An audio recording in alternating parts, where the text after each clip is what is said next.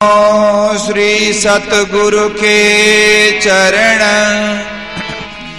भव जल तारन पा कुमति विनाशन सुख करन गर्व प्रहारन हा करुणा सागर अमित गुण। चरण कमल के माही। सुखकारी शीतल सदा। सतगुरु पद के छाए। ब्रह्मानंद परात्पर सो सतगुरु निज रूप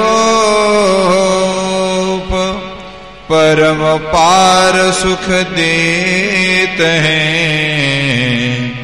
सुंदर रूपनो सुंदर रूपनो। बोलो, श्री कृष्ण कन्हैया लाल की श्री निजानंद स्वामी की श्री प्राणनाथ प्यारे की श्री महारानी बाईजुराज की श्री महाराजा छत्रसाल की श्री महाराज दयाराम साई आपकी सदाई जय। श्री महाराज राम रतन दास साहेब आपकी सदाई। समस्त सुंदर साथ की समस्त सुंदर साथ को प्रणाम। जहाँ लगे अपना कहना सो कह के चुके सब। अब इनके दिल में जो आवे, सो करेंगे तब। सो करेंगे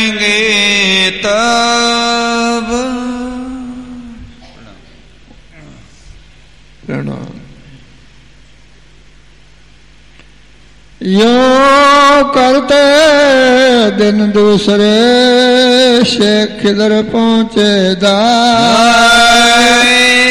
मुलाकात राजा सो करी पहले बताए पहले बताए प्रणाम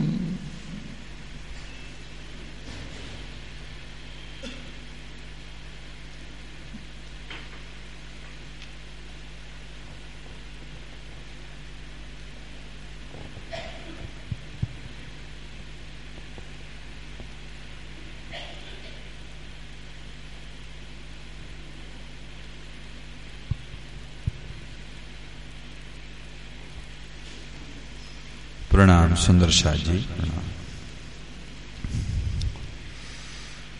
परम आदरणीय पुजारी जी महाराज,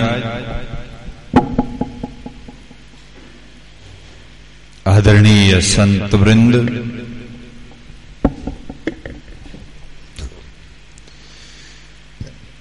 श्री राज़ी महाराज से सच्चा संबंध रखने वाले पवित्र आत्मा लाडली आत्मा प्यारे सुंदर साजी माताएँ, बहनें, भाइयों, सजनों। श्रावण मासिक कथा का आज महत्वपूर्ण दिन, शायद पच्चीसवां दिन लगता है।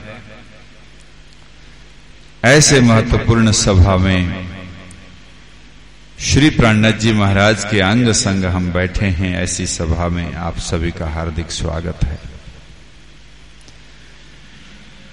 कल हम आप सभी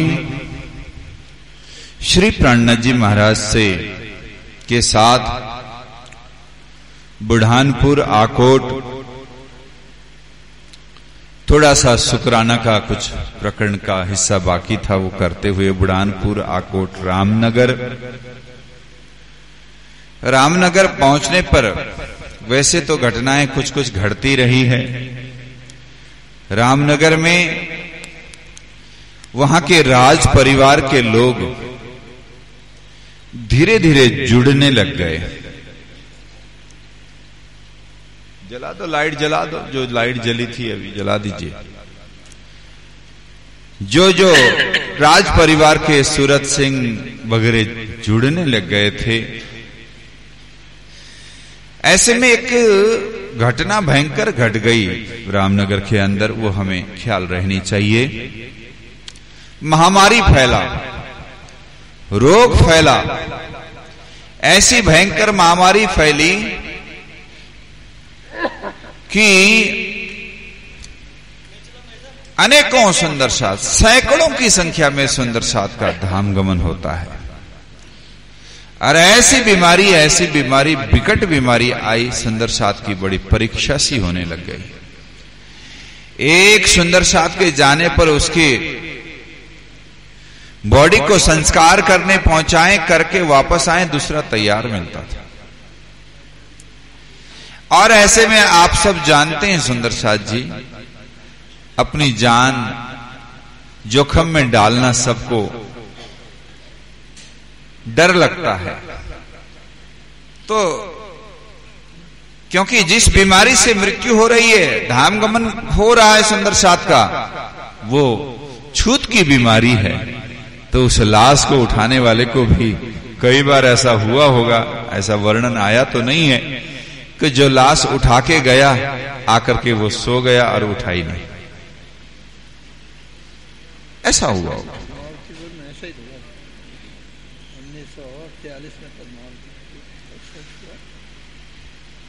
कई ऐसी बीमारियों का हमें जानकारी मिलती है। बाबूजी हमें बताते थे 1943 में 43 में, हैजा फैला था पन्ना धाम में। और मेरे ख्याल से बाबूजी के बड़े भाई साहब और माता जी दर्शन करने, तीर्थ करने के लिए पन्ना जी गए और वहीं से चले गए।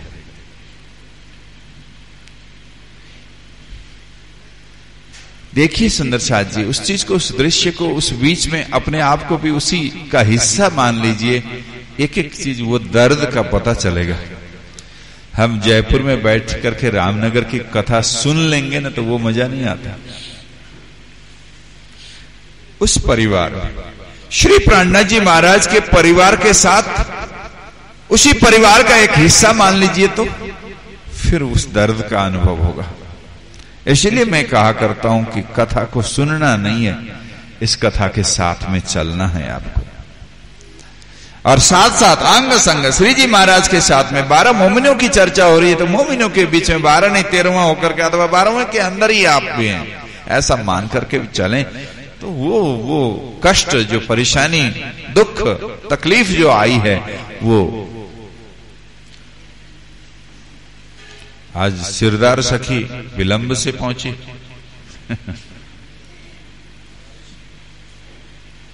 चलो। मैंने दुराया नहीं है अभी वही पिछली बात हो रही है। आज की कथा भी शुरू नहीं आज की कथा अभी शुरू नहीं की बाबूजी आपके इंतज़ार में।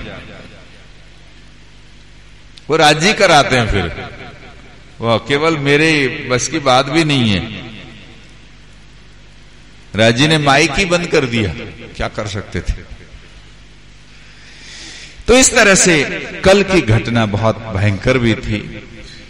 बहुत परिस्थिति हमारी परीक्षा लेती है हमेशा। और पता नहीं किसका श्वास कहाँ अंत होना है ये भी पता नहीं होता। और मैं तो कहता हूँ सुंदर साथ जी जीवन का कोई भरोसा नहीं है। कब क्या हो जाए अभी चलते चलते कुछ का कुछ भी हो सकता है। इसलिए सावधान रहें, सजग रहें, तैयारी के साथ रहें। है ना? तो आज अब हम रामनगर में ही हैं। आपको पता चला था कल कि इधर से औरंगज़ेब बादशाह ने समाचार भेजा था पुरदल खान को।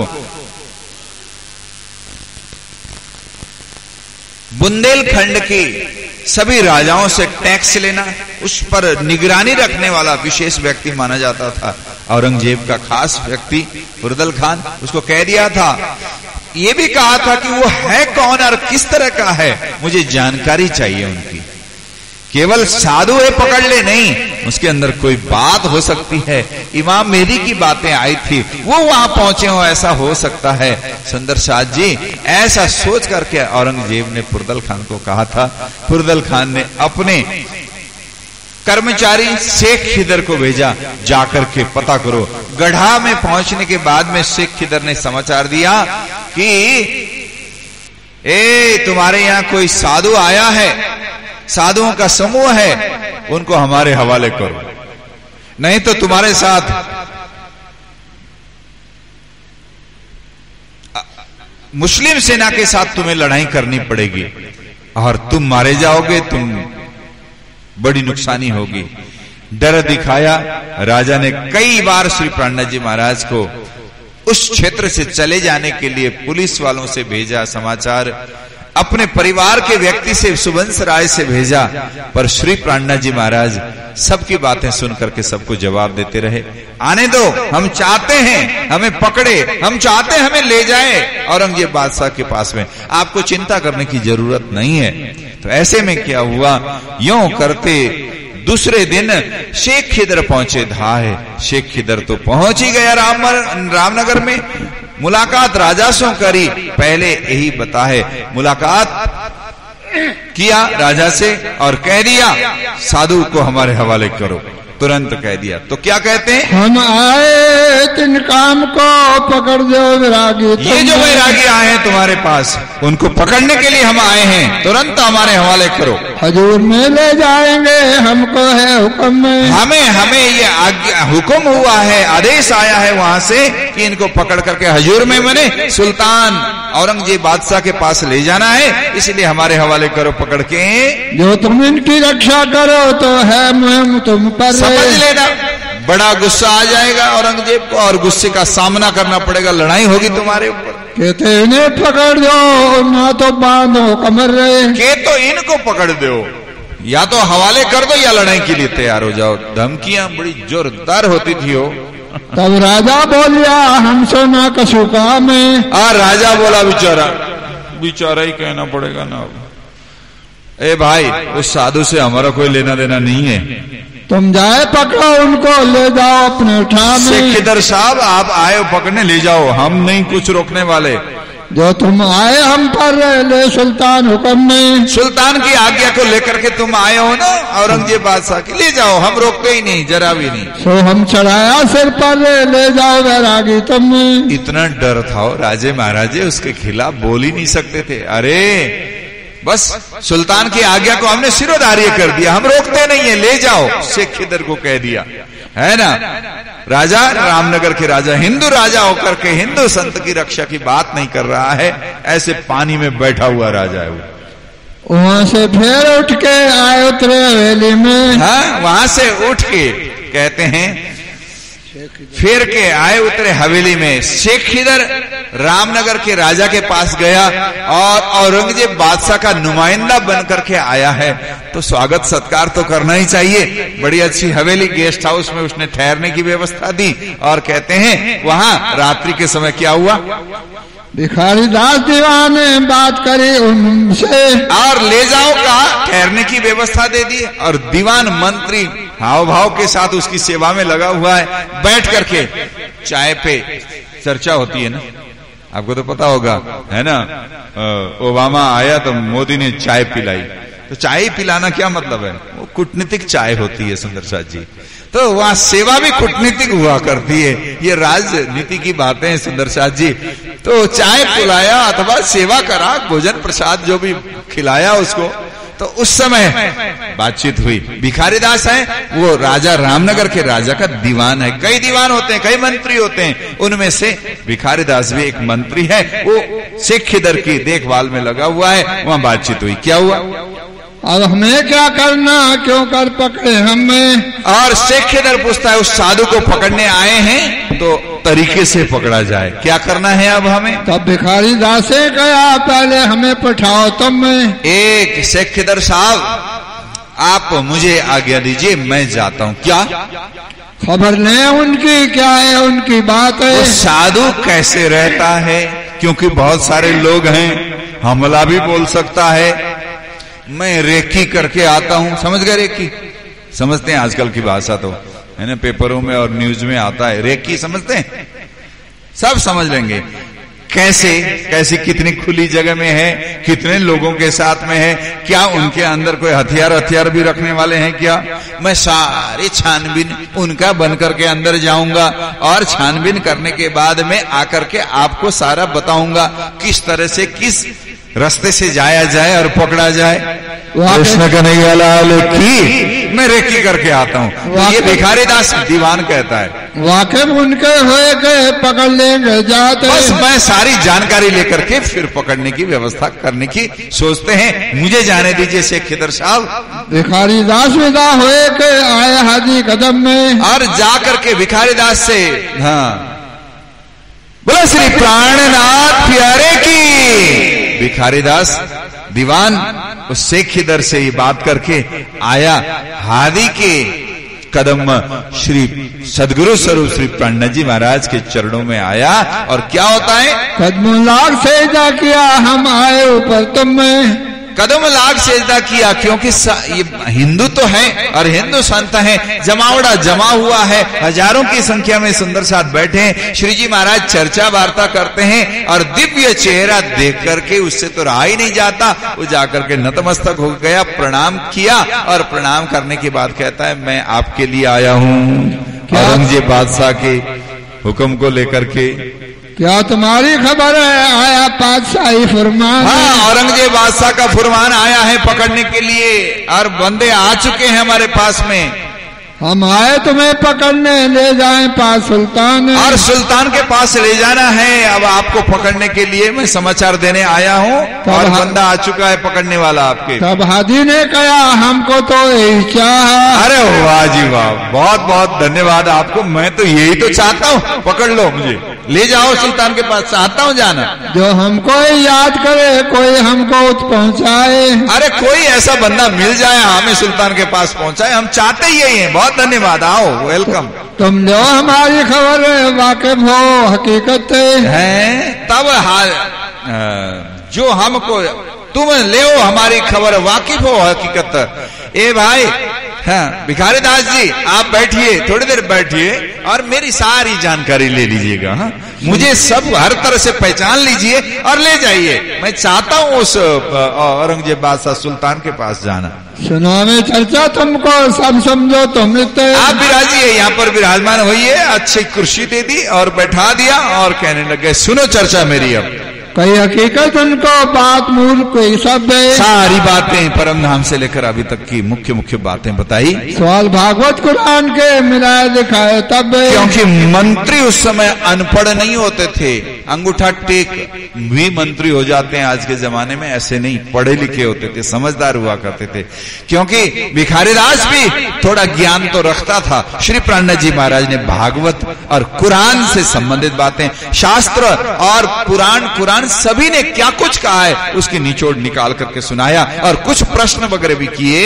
जवाब करो तुम इनका जो तुम्हें समझी जाए। अरे अरे भिखारी दास जी आप भी विद्वान हो समझाओ मुझे इन प्रश्नों का जवाब आता है आपको बताइए। या तो सुनो हम पे सब देवे बताए। या तो हमारे से सुनो आपको बता करके खोल करके समझा देते हैं। भिखारी दास कहा हमें समझाओ तुम। हे हे प्रभु आप हमें समझाइए मैं क्या समझाऊँगा आपके पास तो ज्ञान का खजाना है करके भिखारी दास ने कहा हम तो लाई माने तुम्हारे कदम न छोड़े हम। श्री प्राणनाथ प्यारे की। एक नकारात्मक भाव लेकर के नेगेटिव सोच लेकर के आया व्यक्ति रेकी करने के बहाने आया व्यक्ति आज आकर के थोड़ी देर की चर्चा के बाद कहता है हम तो ल्याए ईमान तुम्हारे कदम न छोड़े हम अब हम आपके चरण छोड़ने वाले नहीं। तीन रात अन्य हो गया मैं। मेरा सदभाग्य था कि मैं पहले आपके चरणों में आया। जी। तीन रात और तीन दिन कया ताल तम समझाए। धाम के धनी की? क्या बात। देखिए भिखारीदास आया था हुलिया समझने के लिए।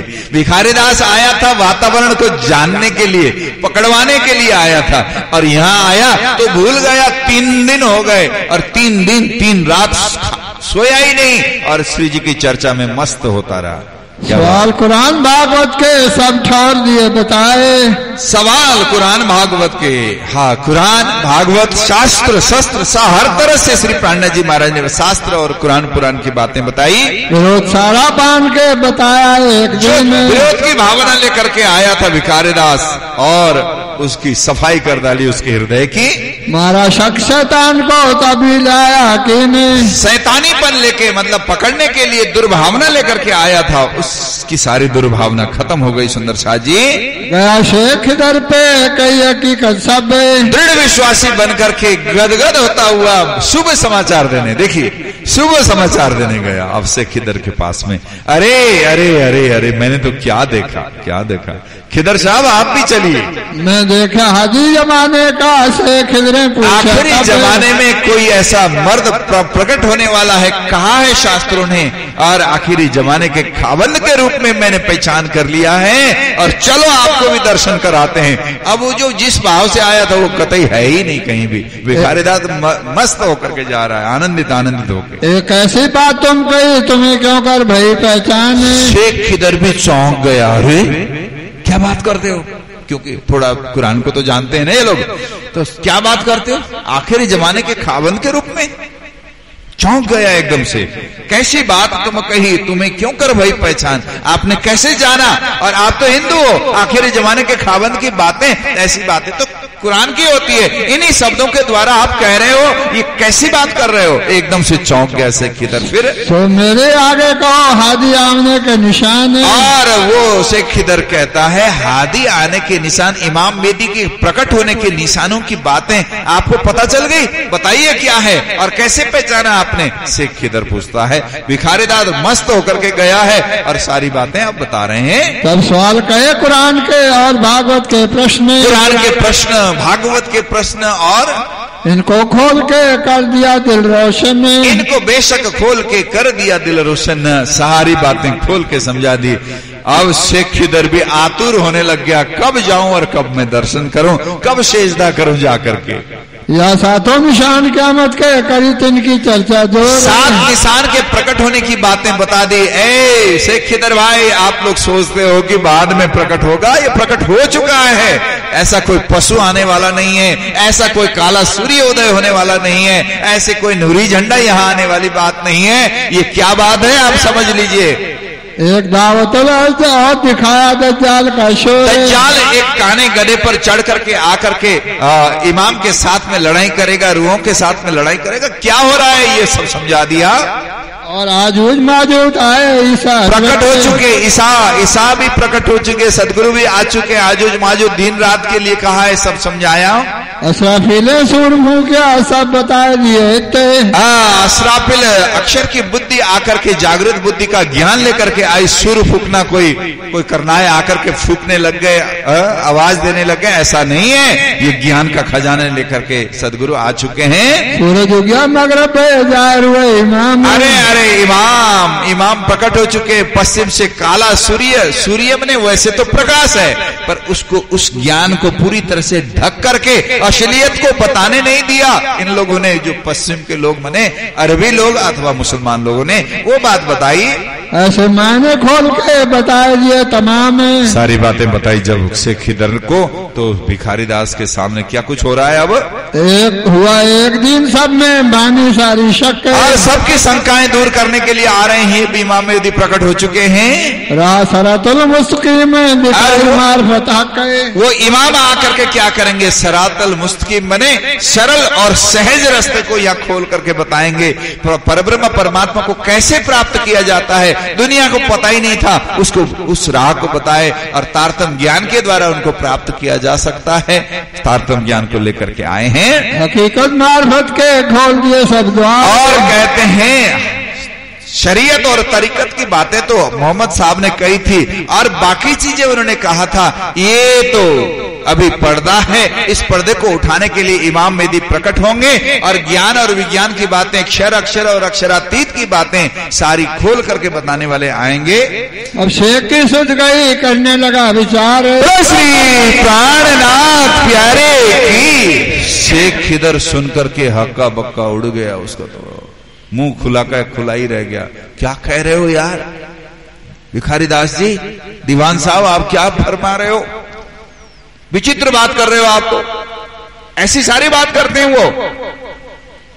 जी। सैयद अब्दुल रहमान और रघुनाथ संगे। और उनके साथ में सैयद अब्दुल रहमान और रघुनाथ। ऐसे दो चार लोग साथ में थे वो सारे सुन रहे हैं वहाँ। तीन शादी शब्द ही भागा दजाल का जंग। और वो वो उसके भिखारी दास के साथ गए थे सैयद अब्दुल रहमान और रघुनाथ जी। और ये सारी बातें सब शेख खिदर को भिखारी दास कह रहे हैं ना तो रघुनाथ जी और अब्दुल रहमान भी कहता है, वाकई में यार, विचित्र है। ऐसा संसार में आज दिन तक शायद पैदा नहीं हुआ था और होगा कि नहीं होगा?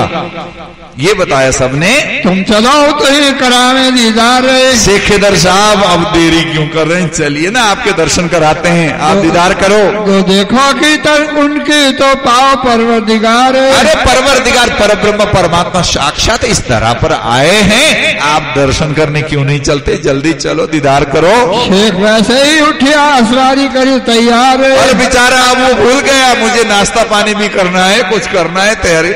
और घोड़ों को और साथ में आए हुए लोगों को सबको कह दिया अब सकारात्मक तैयारी हो रही है अब पकड़ने के लिए नहीं है हादी के दर्शन करने की तैयारी हो रही है। चलो चलो जय जयकार करते जाएँगे और दर्शन करेंगे सबको तैयार किया।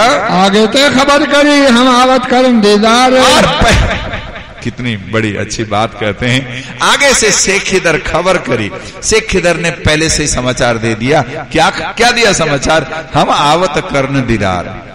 हम दीदार की अभिलाषा से आ रहे हैं। बड़ी ख्वाहिश है हमारी बड़ी इच्छा है आपके दीदार करें।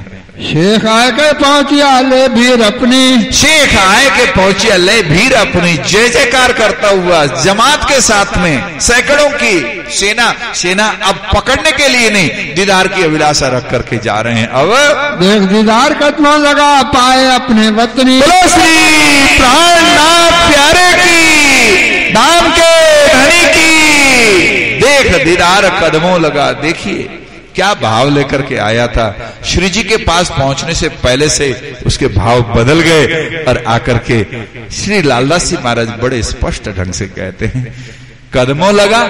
क्या हुआ?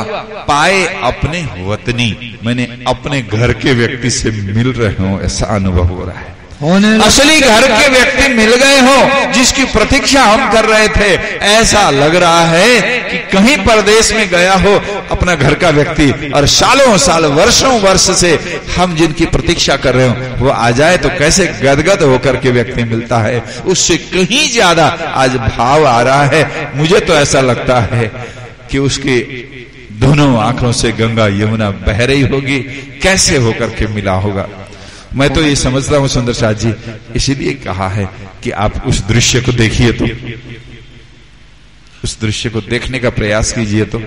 वाजी वाह। आँसू आ जाएँगे। क्या भाव लेके आया और क्या बन करके दर्शन कर रहा है? होने लगी चर्चा क्यामत का मजकूर। क्यामत के संबंध में शेख खिदर को कहा अरे खिदर साहब आप बैठिए सभी बैठिए और चर्चा सुनिए और चर्चा कहाँ की हो रही है? क्यामत की निशानियों की बातें हो रही है। अब क्यामत का समय आ गया है। इमाम मेदी के रूप में प्रकट हो चुके हैं। धनी धाम आ चुके हैं। ऐसा ये चर्चा हो रही है। अब सनन ने सुनी तीन ने सब देखा हक जहूर सनन ने सुनी तीन ने मैंने सनन के प्रकरणों के आधार पर चर्चा हो रही है। सारी बातें जब सुनी और देखा हक जहूर मैंने परमात्मा की मानो आभा यहाँ उतर आई है परमात्मा की सारी शक्तियाँ यहाँ उतर आई है वो दिखाई देने लग गए से खिदर को। इन समय जाल ने किया बड़ा शोर क्या, क्या हुआ बताओ। तीनों किया तिजोर क्या हुआ? सबको पता चल रहा हो अल्लाह करता हुआ है ना।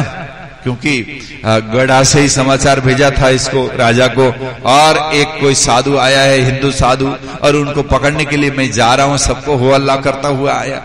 तो बेदड़े गाँव के जो मुसलमान लोग थे ना, वो सहयोग करने आए पकड़वाने के लिए। उन्होंने जाने से पुकारता आया पकड़ने को। पकड़ने के लिए आया था पुकारता हुआ यही जान करके वो बेदड़े के मुसलमान लोग पठान लोग आ गए। तो हम तो हम जावे मदद होवे काम दिन के मोह। और क्योंकि इनको लगता था मुसलमानों को कि असली धर्म का काम ही यही है कि मार मार करके मुसलमान बनाया जाए। और हिंदुओं को या मुसलमान धर्म से अलग जो कोई भी है, उनको किसी तरह से परेशान किया जाए, यही हमारा धर्म है। वो तभी से मानते हैं, अब भी ऐसे ही मानते हैं। सुंदर साथ जी। और मुसलमान ये समझते हैं कि इस्लाम को न मानने वाले सारे तो काफर हैं और काफर को मारना ही धर्म समझते हैं। इसलिए जिहाद नाम से आज भी लड़ाई लड़ी जा रही है सुंदर शाह जी। वहाँ कुरान तफसीर धरी थी करने लगा जिद और अब क्या हुआ? ये सिख इधर तो आकर के तो पिघल ही गया है और उन मूर्खानंदों को पता ही नहीं अभी। बेदड़े के सुंदर साथ आकर के खड़े होकर के क्या कहते हैं? तफसीर थी वहाँ तो सामान्य बात है तफसीर हुसैनी कुरान की बातें पुरान की बातें, हर तरह बाइबल की भी बातें वहाँ होती है। तो मुसलमान लोग आकर के अब एक बहाना बना करके कुछ तो कहना पड़ेगा हल्ला करने के लिए। रुकावट डालने के लिए है ना? हिंदुओं को तो कहने लगे वहाँ तफसीर धरी थी करने लगा जिद तफसीर हुसैनी को देख करके उसी को एक आधार बना करके वो अल्लाह करने लगे। क्या? ए हिंदुओं को? हिंदुओं को रवा नहीं तुम क्यों चर्चा करो? मोहम्मद अरे मोहम्मद साहब के ऊपर चर्चा करने वाले आप कौन होते हो? हिंदू होकर के। ये ये ये ये अधिकार आपको किसने दिया है? ऐसा करना हम पाप समझते हैं। बिल्कुल ये नहीं होना चाहिए। तफसीर हुसैनी आपके पास कैसे आ गई? किसने दिया आपको। वो अल्लाह करने लगा। जब शेख को गुस्सा चढ़ा इन्हें उठाए दो मुर्दक के श्री प्राणनाथ प्यारे की। अब सोचा क्या था हुआ क्या? देखिए शेख खिदर बैठा हुआ था। शाबाश शाबाश आओ आओ लड़े करने करना चाहिए था शेख खिदर को। शेख खिदर ने क्या किया? गुस्सा किया उन लोगों पर है ना? और कहने लगा उन्हें इन्हें उठाए दो मुर्दक। ये मरे हुए के समान है। इनके अंदर कोई जागृति नाम की कोई चीज़ नहीं है। मुर्दक मैंने मुर्दे के समान है। इनको उठाकर धक्के मार करके निकालो। धक्के इनको करने लगा हरकत आकर के यहाँ हक मैंने परमात्मा के साथ में ऐसी हरकत ऐसी ओछी हरकत करता है। इसको निकालो धक्का मार करके करके शेख खिदर कड़क गया एकदम से। अब वो बेदड़े के तो बेचारे काटो तो खून ना निकले। सहयोग करने आए थे। शेख खिदर को शेख खिदर बरस पड़ा उनके उल्टे। सबों ने तय उठाया से। ऐसे लोगों के लिए धिकार है तुम्हें बहुत धिकार है क्या कहा जाए तुम्हें? मजलिस से मैंने सभा में आए हुए उन लोगों को धक्का लगा करके बाहर निकाल उठिया बैठा जाल इनमें। ये हुआ क्या? बड़ा आश्चर्य चमत्कार हो गया है तो। चमत्कार हो गया। अरे शेख इधर पकड़ने आया समझ करके हम तो उसको सहयोग करने आए थे। और शेख इधर हमारे लिए उल्टा पड़ गया। चमत्कार नहीं तो और क्या? तो शाह मोले उठिया बैठा दजाल इनमें। इस तरह से अंधेरा काला महिला चेहरा लेकर के दुम दबा करके जैसे कुत्ता भाग जाता है भागना पड़ा वहाँ से। एक सब सात सौ ले आया ईमान शेख इधर के साथ में शेख इधर स्वयं मात्र नहीं बहुत सारे शेख दर के साथ आए थे। पकड़ने के हिसाब से मुस्लिम लोग, उन लोगों ने भी कहते हैं, ले आया ईमान सब साथ के साथ में। नतमस्तक हो जाया, सबको दृढ़ विश्वास उत्पन्न हुआ। अब फिर आया डेरे को करके पूरी पहचान, सारी पहचान करने के बाद मस्त हो करके शुद्ध हृदय बना करके वापस कहा आया?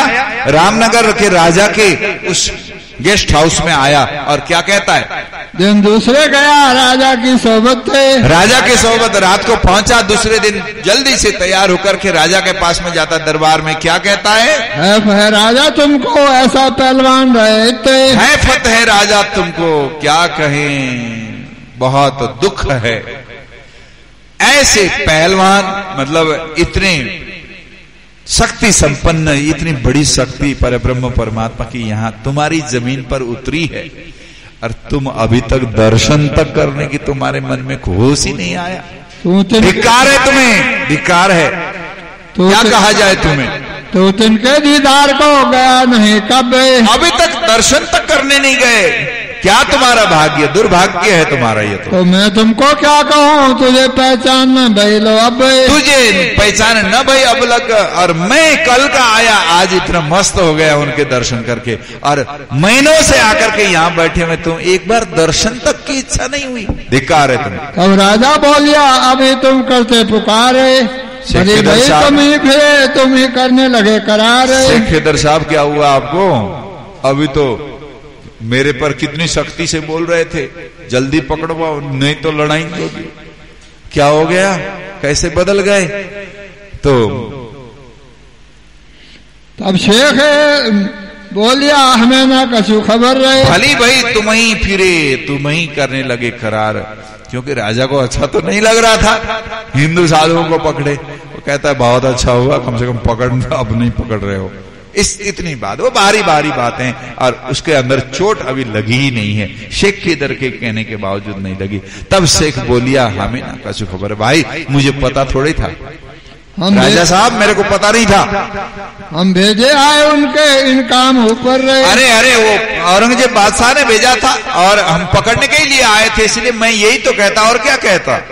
जब हम देखे हाथी को बरहक और जब जाकर के देखा तो आखिर जमाने के हादी खाबंद के रूप में यह पदारे हैं, जिनकी हम प्रतीक्षा करते थे, वो आए हैं और बड़े श्रेष्ठ हैं। ये तो बहुत बड़ी बात हुई है। आज जो दर्शन हुए हमें हमको वही पहचान है हमारी सारी भानी और गए तो कहाँ शंका रहने दिया? उन्होंने शंका कुशंका सब निकाल दिया और शुद्ध हृदय बना दिया हमें। अब हम उनके गुलाम हैं जो हमको ये फरमाए। देखो भाई राजा साहब मैं तो कह देता हूँ मैं तो अब उनके चरणों के रज के समान हूँ अब तो। गुलाम हूँ मैं नौकर हूँ उनका वो जैसा इशारा करेंगे वैसा हम करेंगे अब। तो सब हमें करना दे पैगाम पहुँचाए। जैसा कहेंगे वैसा ही पैगाम पहुंचाएँगे संदेश पहुंचाएँगे औरंगज़ेब बादशाह के पास। अब लोगों ने कहा राजा सो सुकन्ने अरे राजा हाँ, ऐसा हुआ ना क्योंकि राजा के साथ तो वही है ना चट्टे बट्टे होते हैं। हाँ, वो क्या नाम है? चमचे होते हैं। वो चमचे क्या कहते हैं? हाँ, तब लोगों ने कहा राजा को शुक्र ने क्या कहा जी? है इनके पास भुरकी सो हाथ रहे मोमिन ने। राजा साहब एक बात ध्यान रखिएगा। ये साधु लोग होते हैं ना पता नहीं क्या होता है इनके पास। कुछ भी करवा सकते हैं। है राजा को मुर्गा बना दें। है? और ये शेख इधर राक्षस की तरह बोल नहीं रहा था कल? और आज देखो क्या बन करके आया। पक्की बात है, गांठ बाँध के रख लीजिएगा, उस साधु के पास कोई जादुई भुरकी है। कुछ ऐसा भस्म है, ऐसी भूरकी है, ऐसे राक्षस जैसे, ऐसे भयंकर दहाड़ते हुए शेर की तरह से आया था। इतनी धौस पिट रहा था, इतना धमकी दे रहा था हमारे साथ, और कैसे पिघल गया। आप गांड बाँध लिख के रख लीजिए राजा साहब। ये, ये साधु ऐसा नहीं है बड़ा चमत्कारी साधु है। और आप चाहेंगे आपको भी नौकर बना लेगा ये तो। जो कोई जात है सिर पर डालत तिनके और वो बुरकी है ना क्योंकि साधु है जाकर के कोई तो प्रणाम करता ही है। बस प्रणाम करते समय आँखें ऊपर थोड़ी है आँखें तो नीचे हो गई और ऊपर से धीरे से वो भस्म डाल देता है बुरकी डाल देता है। बस वो बार- सब कुछ उसी में ही है। कोई उनका हो है तुम समझियो सोबत में। राजा हो महाराजा हो कोई भी हो उनके चरण की धूली की तरह से रहना पसंद करने लग जाता है। चाहे कितना ही कड़कने वाला क्यों ना हो। शेख खिदर को आप देख रहे हैं इसलिए हमारी बात समझ लीजिएगा और बड़ी सावधानी रखना। और इस शेख खिदर ने कहा ऐसा तो आपको जाना पड़ेगा शायद और जाते समय ध्यान रखिएगा बस। राजा कहे मैं जाऊँगा बैठू ना सोबत राजा क्या कहता मैं जाऊँगा ज़रूर। मूर्खानंद दुर्भाग्यशाली अब क्या कहें इसके? भाग्य फुटा हुआ। दूर से। राजा कहे मैं जाऊँगा बैठो ना सोबत नज़दीक तो बिल्कुल नहीं जाऊँगा। क्योंकि शेखेदर ने कहा अब शर्म शर्म में भी नाक बचाने के लिए भी जाना पड़ेगा। है ना? जाऊँगा ज़रूर। और भुरकी कैसे डालेगा वो साधु मेरे के ऊपर? दूर भुरकी तभी डालेगा जाकर के नतमस्तक घुटना टेकू। मैं टेकने वाला नहीं हूँ दूर से ही देखूँगा बस। दूर से दीदार करूँगा वास्ते शेख इधर कहते मैं मेरे लिए आत्म कल्याण की सोच थोड़ी है कि साधु संत के दर्शन करके कुछ मिले।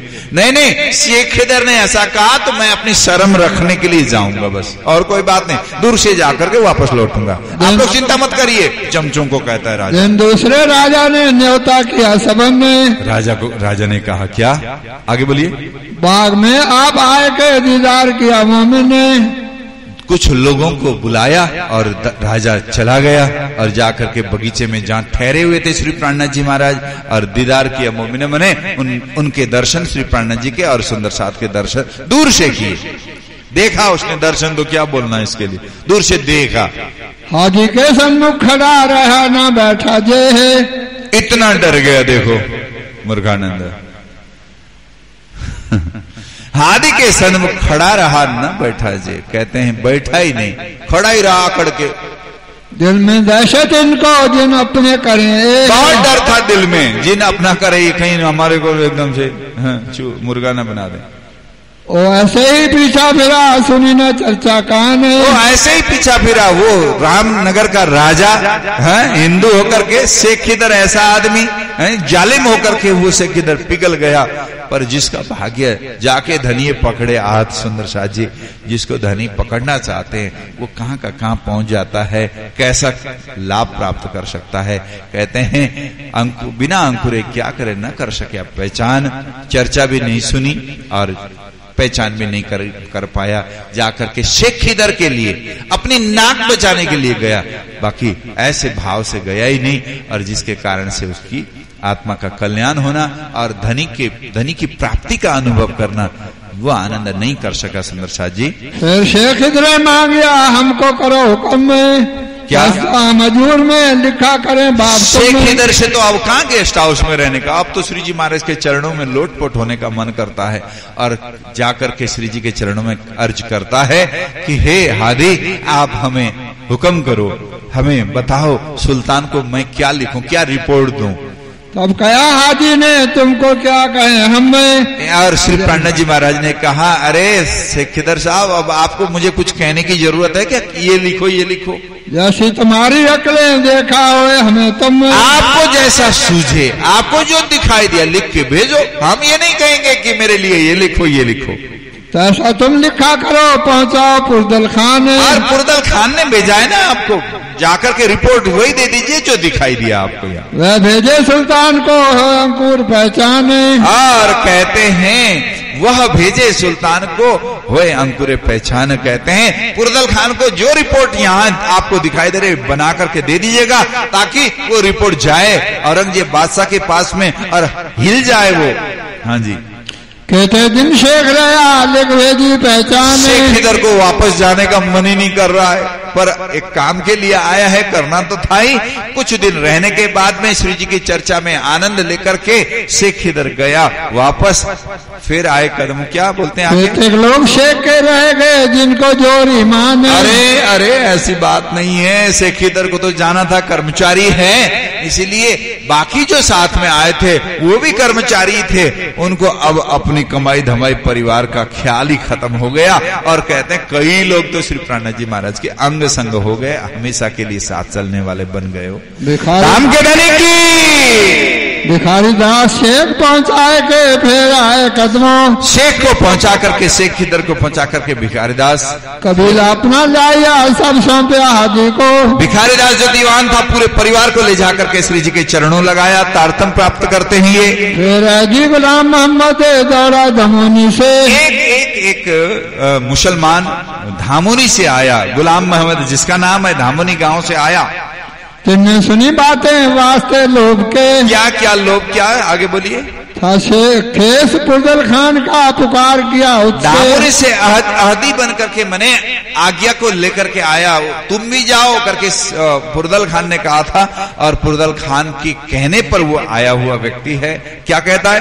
राजा से जाए कहो वैरागी पकड़ जाओ हमें। और वास्ते लोभ के यहाँ कहने का मतलब धन मिलना था। उनको वैरागी को पकड़वा दो तो तुम्हें पुरस्कार मिलेगा। इस उद्देश्य से उस पुरस्कार के लोभ में आया था और जाकर के कह दो राजा को बैरागी पकड़वाने के लिए करके पुरदल खान ने उसको भी भेजा था। तब राजा डरिया हम पर दबदबा बादशाही। दूसरी बार हाँ शेख खिदर तो गया उसके बाद पीछे से ये आया गुलाम मोहम्मद उसको देख करके राजा को लगता है यार जब तक ये साधु हमारे पास है ना खिट खिट खिट खिट खिट खिट रोज रोज कुछ न कुछ कुछ न कुछ परेशानियाँ आती रहती है। और औरंगज़ेब बादशाह की तरफ़ से कोई बात आवे ना हमें तो न तो रोटी भावे न नींद आवे। ऐसा हाल बना रखा है इस साधु के कारण से हम परेशान हो रहे हैं। इन्हें हम अपने गाँव क्यों रखे? बदी बदकारों बताई। अरे बदी बदकारों बताई मैंने। वही चमचे थे ना उन लोगों ने भी कहा राजा साहब आप तो ना आपका तो वज़न ही दस किलो घट गया जब से साधु यहाँ आए मैं अपनी तरफ़ से कह रहा हूँ। तो गया। आप आपको देखो चेहरा कैसा हो गया आपका। वो साधु ना चमत्कारी। ऐसे साधु को हमारी ज़मीन में रहने नहीं देना चाहिए। ऐसा लोगों ने कहा और राजा भी कहता है कि उस साधु को निकालो यहाँ से। राजा ने भेजे गुमास्ते अपने भेजा दूसरे लोगों को भेजा। तुम जाओ आप हमारे देश से हम न सह सके खरकत से। दूसरे लोगों को राजा ने कहा राजा ने कहलवा करके भेजा कि हमारे क्षेत्र से यहाँ से चले जाएँ। आपके रहने पर रोज रोज खट खट खट खट खट खट हो रही है। कितना गुस्सा कर रहा है औरंगज़ेब बादशाह। हम उसकी बात सुन करके हम घबरा जाते न तो हमें रोटी बहा रही न नींद आ रही है। इसीलिए यहाँ से चले जाओ आप। ऐसा कहने के लिए लोगों को भेजा। देखिए नज़र राजा की दहशत भरी कह रहे। जी महाराज। ने विचार किया कैसा डूबा हुआ कायर राजा है राजा होता है ये तब वहाँ से उठ चले जिमी देखी जहर रहे। बिना पानी के बैठ गया बिल्कुल डूबी गया ऐसा ऐसा राजा। देखते हैं वहाँ से राजा को इस छत्र को देखा जिमी देखी जहर। यहाँ रहना अब उचित नहीं है। देखिए ऐसी जगह में जाना चाहिए इस जगह में रहना चाहिए जहाँ थोड़ी इज़्ज़त भी होती हो। थोड़ी सी कदर भी होती हो। जहाँ बेइज्जती कराने कोई जाना नहीं चाहता। श्री प्राणा जी महाराज सोचते हैं जहाँ आदर नहीं है जहाँ सम्मान नहीं है जहाँ भाव नहीं है जहाँ आदर पाने के लिए नहीं पर आए हुए व्यक्ति का खुश तो होता है। और जहाँ बेइज्जती होती है जहाँ किसी को आ, समझने की कोशिश ही नहीं करता। ऐसे राजा की ज़मीन में रह करके इस ज़मीन को पवित्र करना भी बेकार है। श्री प्रहलाद जी महाराज कहते हैं यहाँ से निकला जाए। सम्मत सत्रह सौ उनतालीस है मास अगन सुधी दस में। ध्यान रखिए सत्रह सौ उनतालीस का समय है सुंदर शाह जी। मास अगहन सुधी दस में। अगहन मने मक्सर महीना। कार्तिक के बाद में अगहन आता है सुंदर शाह जी। अगहन महीने के शुक्ल पक्ष की दसवीं तिथि में कहा है? चले रामनगर से फिर आए चौदह रामनगर से चले श्री प्राणा जी महाराज और चार दिन तक चलते चलते चलते चलते गढ़ा पहुँचते हैं चौदस के दिन। हाँ जी। तो जाए बाग में ऐदी पहुँचा धाए। और वहाँ एक बगीचे में रहते हैं वहाँ ऐदी पहुँचा धाए। आज्ञा को लेकर के आने वाला कौन पहुँचा जी? सो तो गया रामनगर पाँच अपने पहुँचाए। वो गुलाम मोहम्मद नहीं था जो पुरदल खान ने भेजा था जाकर के उसको पकड़ करके लिया। वो श्री प्रणा जी महाराज रामनगर से चले गए थे उसके बाद रामनगर में पहुंचाओ वो आदमी। तिन्ने रोके बाग में तब आए पहुँचे देवकरण ने। तीन ने रोके बाग में रामनगर गया और रामनगर से पता चला कि वो यहाँ से चले गए हैं। तो कहते हैं वो गुलाम मोहम्मद के साथ में कुछ लोग थे ना वो लोग जाकर के बगीचे में रुकावट पैदा करने लग गए और आए पहुँचे देवकरण इस समय। बोले श्री प्रहलाद प्यारे की छत्रसाल जी महाराज की। तीन समय बाद रामनगर श्री प्राणनाथ जी महाराज का आना ही श्री प्राण दुख हुआ दुख हुआ, और रामनगर से निकल भी गए, पर रामनगर आना ही छत्रसाल जी महाराज के पास तक बात पहुँचने का सूत्र जुड़ना है, सुंदर जी। क्योंकि रामनगर में सूरज सिंह, हरि सिंह वगैरह आकर के राज दरबार के लोगों ने दर्शन किए, घर में पधराया, कईयों ने तारतम लिया और ये बातें धीरे धीरे चलने लग गई, बढ़ने लग गई। तो कहते हैं, वहाँ बाग में आए पहुँचे देवकरण। कौन है जी देवकरण? हाँ जी? काका? चाचा की भतीजा? कोई चाचा कह रहा है, कोई भतीजा कह रहा है। अब बता देना जी मुझे मुझे ही नहीं पता। ये भतीजे हैं। बलदीवान चाचा हैं, ये भतीजे हैं। देवकरण जी भतीजे हैं। और देवकरण जी छत्रसाल जी महाराज के राज में से अलग होकर के रामनगर के राजा के यहाँ गए थे, क्योंकि राज परिवार से हैं। राज परिवार में ऐसे राज परिवार के लोगों के अंदर कई खूबियाँ होती हैं। इसीलिए वहाँ गए तो खूबियों को देखते हुए राजा ने मंत्री पद दिया था देवकरण जी को। वो देवकरण जी क्या हुआ? बाग में बगीचे में श्री पांडे जी महाराज थे वहाँ आकर के पहुँचे। देवकरण क्या हुआ? तीन समय तीन से बातें होने लगी लड़े चार पहर मोमिन चार पहर मोमिन मोमिन ब्रह्मात्मा है वो जो पुरदल खान का भेजा हुआ वो आया था गुलाम मोहम्मद उसके साथ में आए हुए लोगों के साथ में लड़ाई करनी पड़ी छोड़ते नहीं थे। ऐसा नहीं है कि केवल माला लेकर के बैठे आ जाए तो उनकी ऐसी तैसी खाट खड़ी करना भी आता था। जैसा जिस भाव से आता था उसको किस तरह से मर्दन करना उसको मसल रहे वो भी आता था मोमिनों को। चार प्रहर तक लड़ाई भी करी है उन लोगों के साथ कही सुनते ही और श्री प्राणा जी महाराज तो बचनों से हराते थे और सुंदर साथ ज़रूरत पड़े तो गुत्थम गुत्था भी कर लेते थे। पहले भागे बड़ी हुई हमें खैर। और दिन उगते पहले भागे। मैंने दूसरे दिन सवेरा होने ही नहीं पाया। उससे पहले वो मूर्खानंद लोग भाग गए। कौन? वो गुलाम मोहम्मद के साथ आए हुए लोग। ये तो वली खुदा का हमसे बेअदबी कछु होए। क्या बोलते हैं? तो कैसे भागे पता है? अरे ये तो बली खुदाए का ये खुदा का ही बेटा आ गया ये तो। खुदा का ही बच्चा आया है।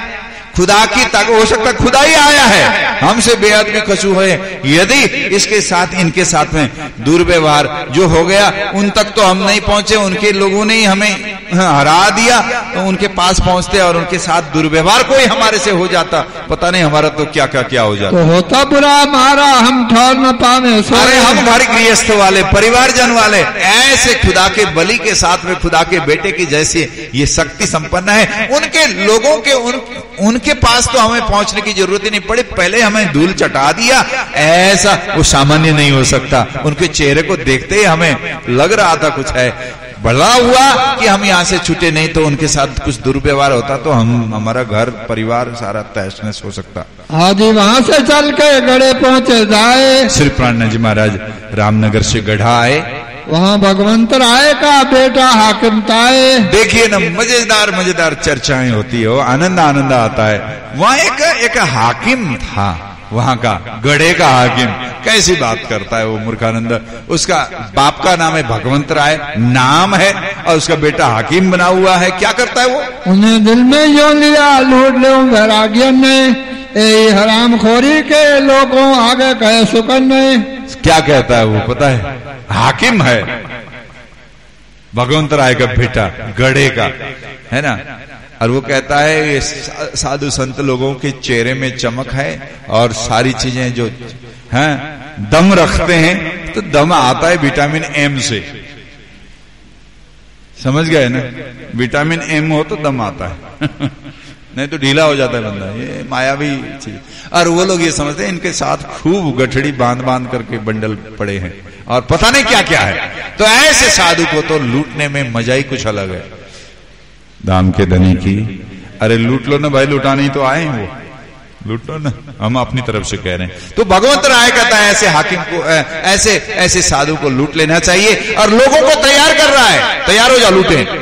सुनी गंगा राम वाजपेयी वहाँ था आसन में। और कहते हैं एक गंगाराम जी वाजपेयी करके वहाँ रहते थे। आ, और वो वो थोड़े से पंडित जैसे थे है ना? उनकी बातें चलती थी कुछ लोग उनको सुनने भी आया करते थे। एक आश्रम जैसा था लोगों का आना जाना उनके पास रहता था। तो गंगाराम वाजपेयी ने कहा क्या कहा? आया भाई मार दो दीदार को जान संबंध अपन ने प्राणनाथ प्यारे की। कहते आया बा बार दो दीदार को दो बार श्री जी महाराज की चर्चा में पहुँचा था, दर्शन किए थे। उसने जान संबंध आपन्न, क्योंकि साधु हैं, हम भी साधु हैं, धर्म का कार्य करने वाले हैं।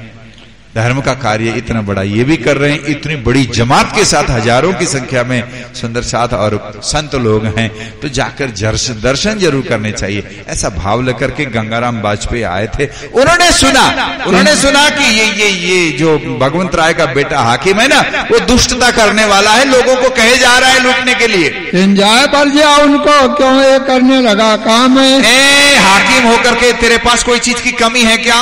तू कैसा आदमी है?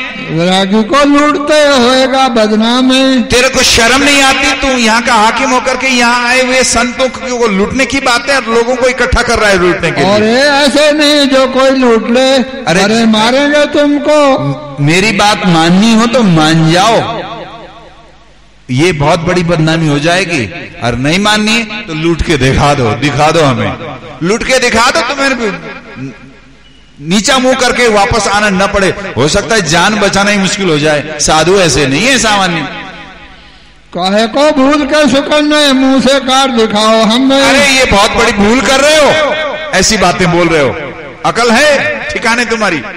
लगी लानत घड़े को। उस दिन से हुआ ख्वार सो रोज क्यामत लो ठौर न आवे लगा रहे सुंदर साथ जी उस समय वहाँ समझने की इच्छा से तारतम ज्ञान को प्राप्त करने की इच्छा से आत्मिक कल्याण की भावना से आने वाले लोग इतने नहीं बन पाए तो लगे गड़े को लानत लगी मने। धिकार है ऐसे हाकिमों को ऐसे लोगों को जिसके कारण से दुनिया जाग जाती जागने नहीं दिया ऐसे लोगों को धिकार है।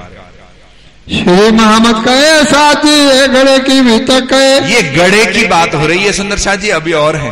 कछुक पीछे रही है सो कहूँ हुक्म हक है। श्री लालदास जी महाराज को भी बड़ा उमंग है ये प्रसंग लिखने के लिए। तो कहते हैं और बहुत बात बाकी है मैं बताना चाहता हूँ। आप सुनिए ध्यान से। गड़े की मजल में आया याद ना रामनगर गड़े की बात करते करते रामनगर की बात करने का मन हो रहा है लालदास जी महाराज को। तिनकी मजल कहे तो सुनियो साथ। सुनिए सुंदर शाह जी मैं बता रहा हूँ आपको कैसा क्या क्या प्रसंग बनता है अब? सूरज सिंह मान लिया देख के दीदार रामनगर के अंदर सूरत सिंह एक बार दर्शन करने के आए और घर पधराया श्री प्राणा जी महाराज को उन्होंने तो कहते हैं शक मन में ना रही देखा धनी निर्धार। अरे साक्षात धाम के धनी पहचान लिया सूरत सिंह ने और समर्पित होकर तारतम प्राप्त कर लिया पूरे परिवार के साथ में।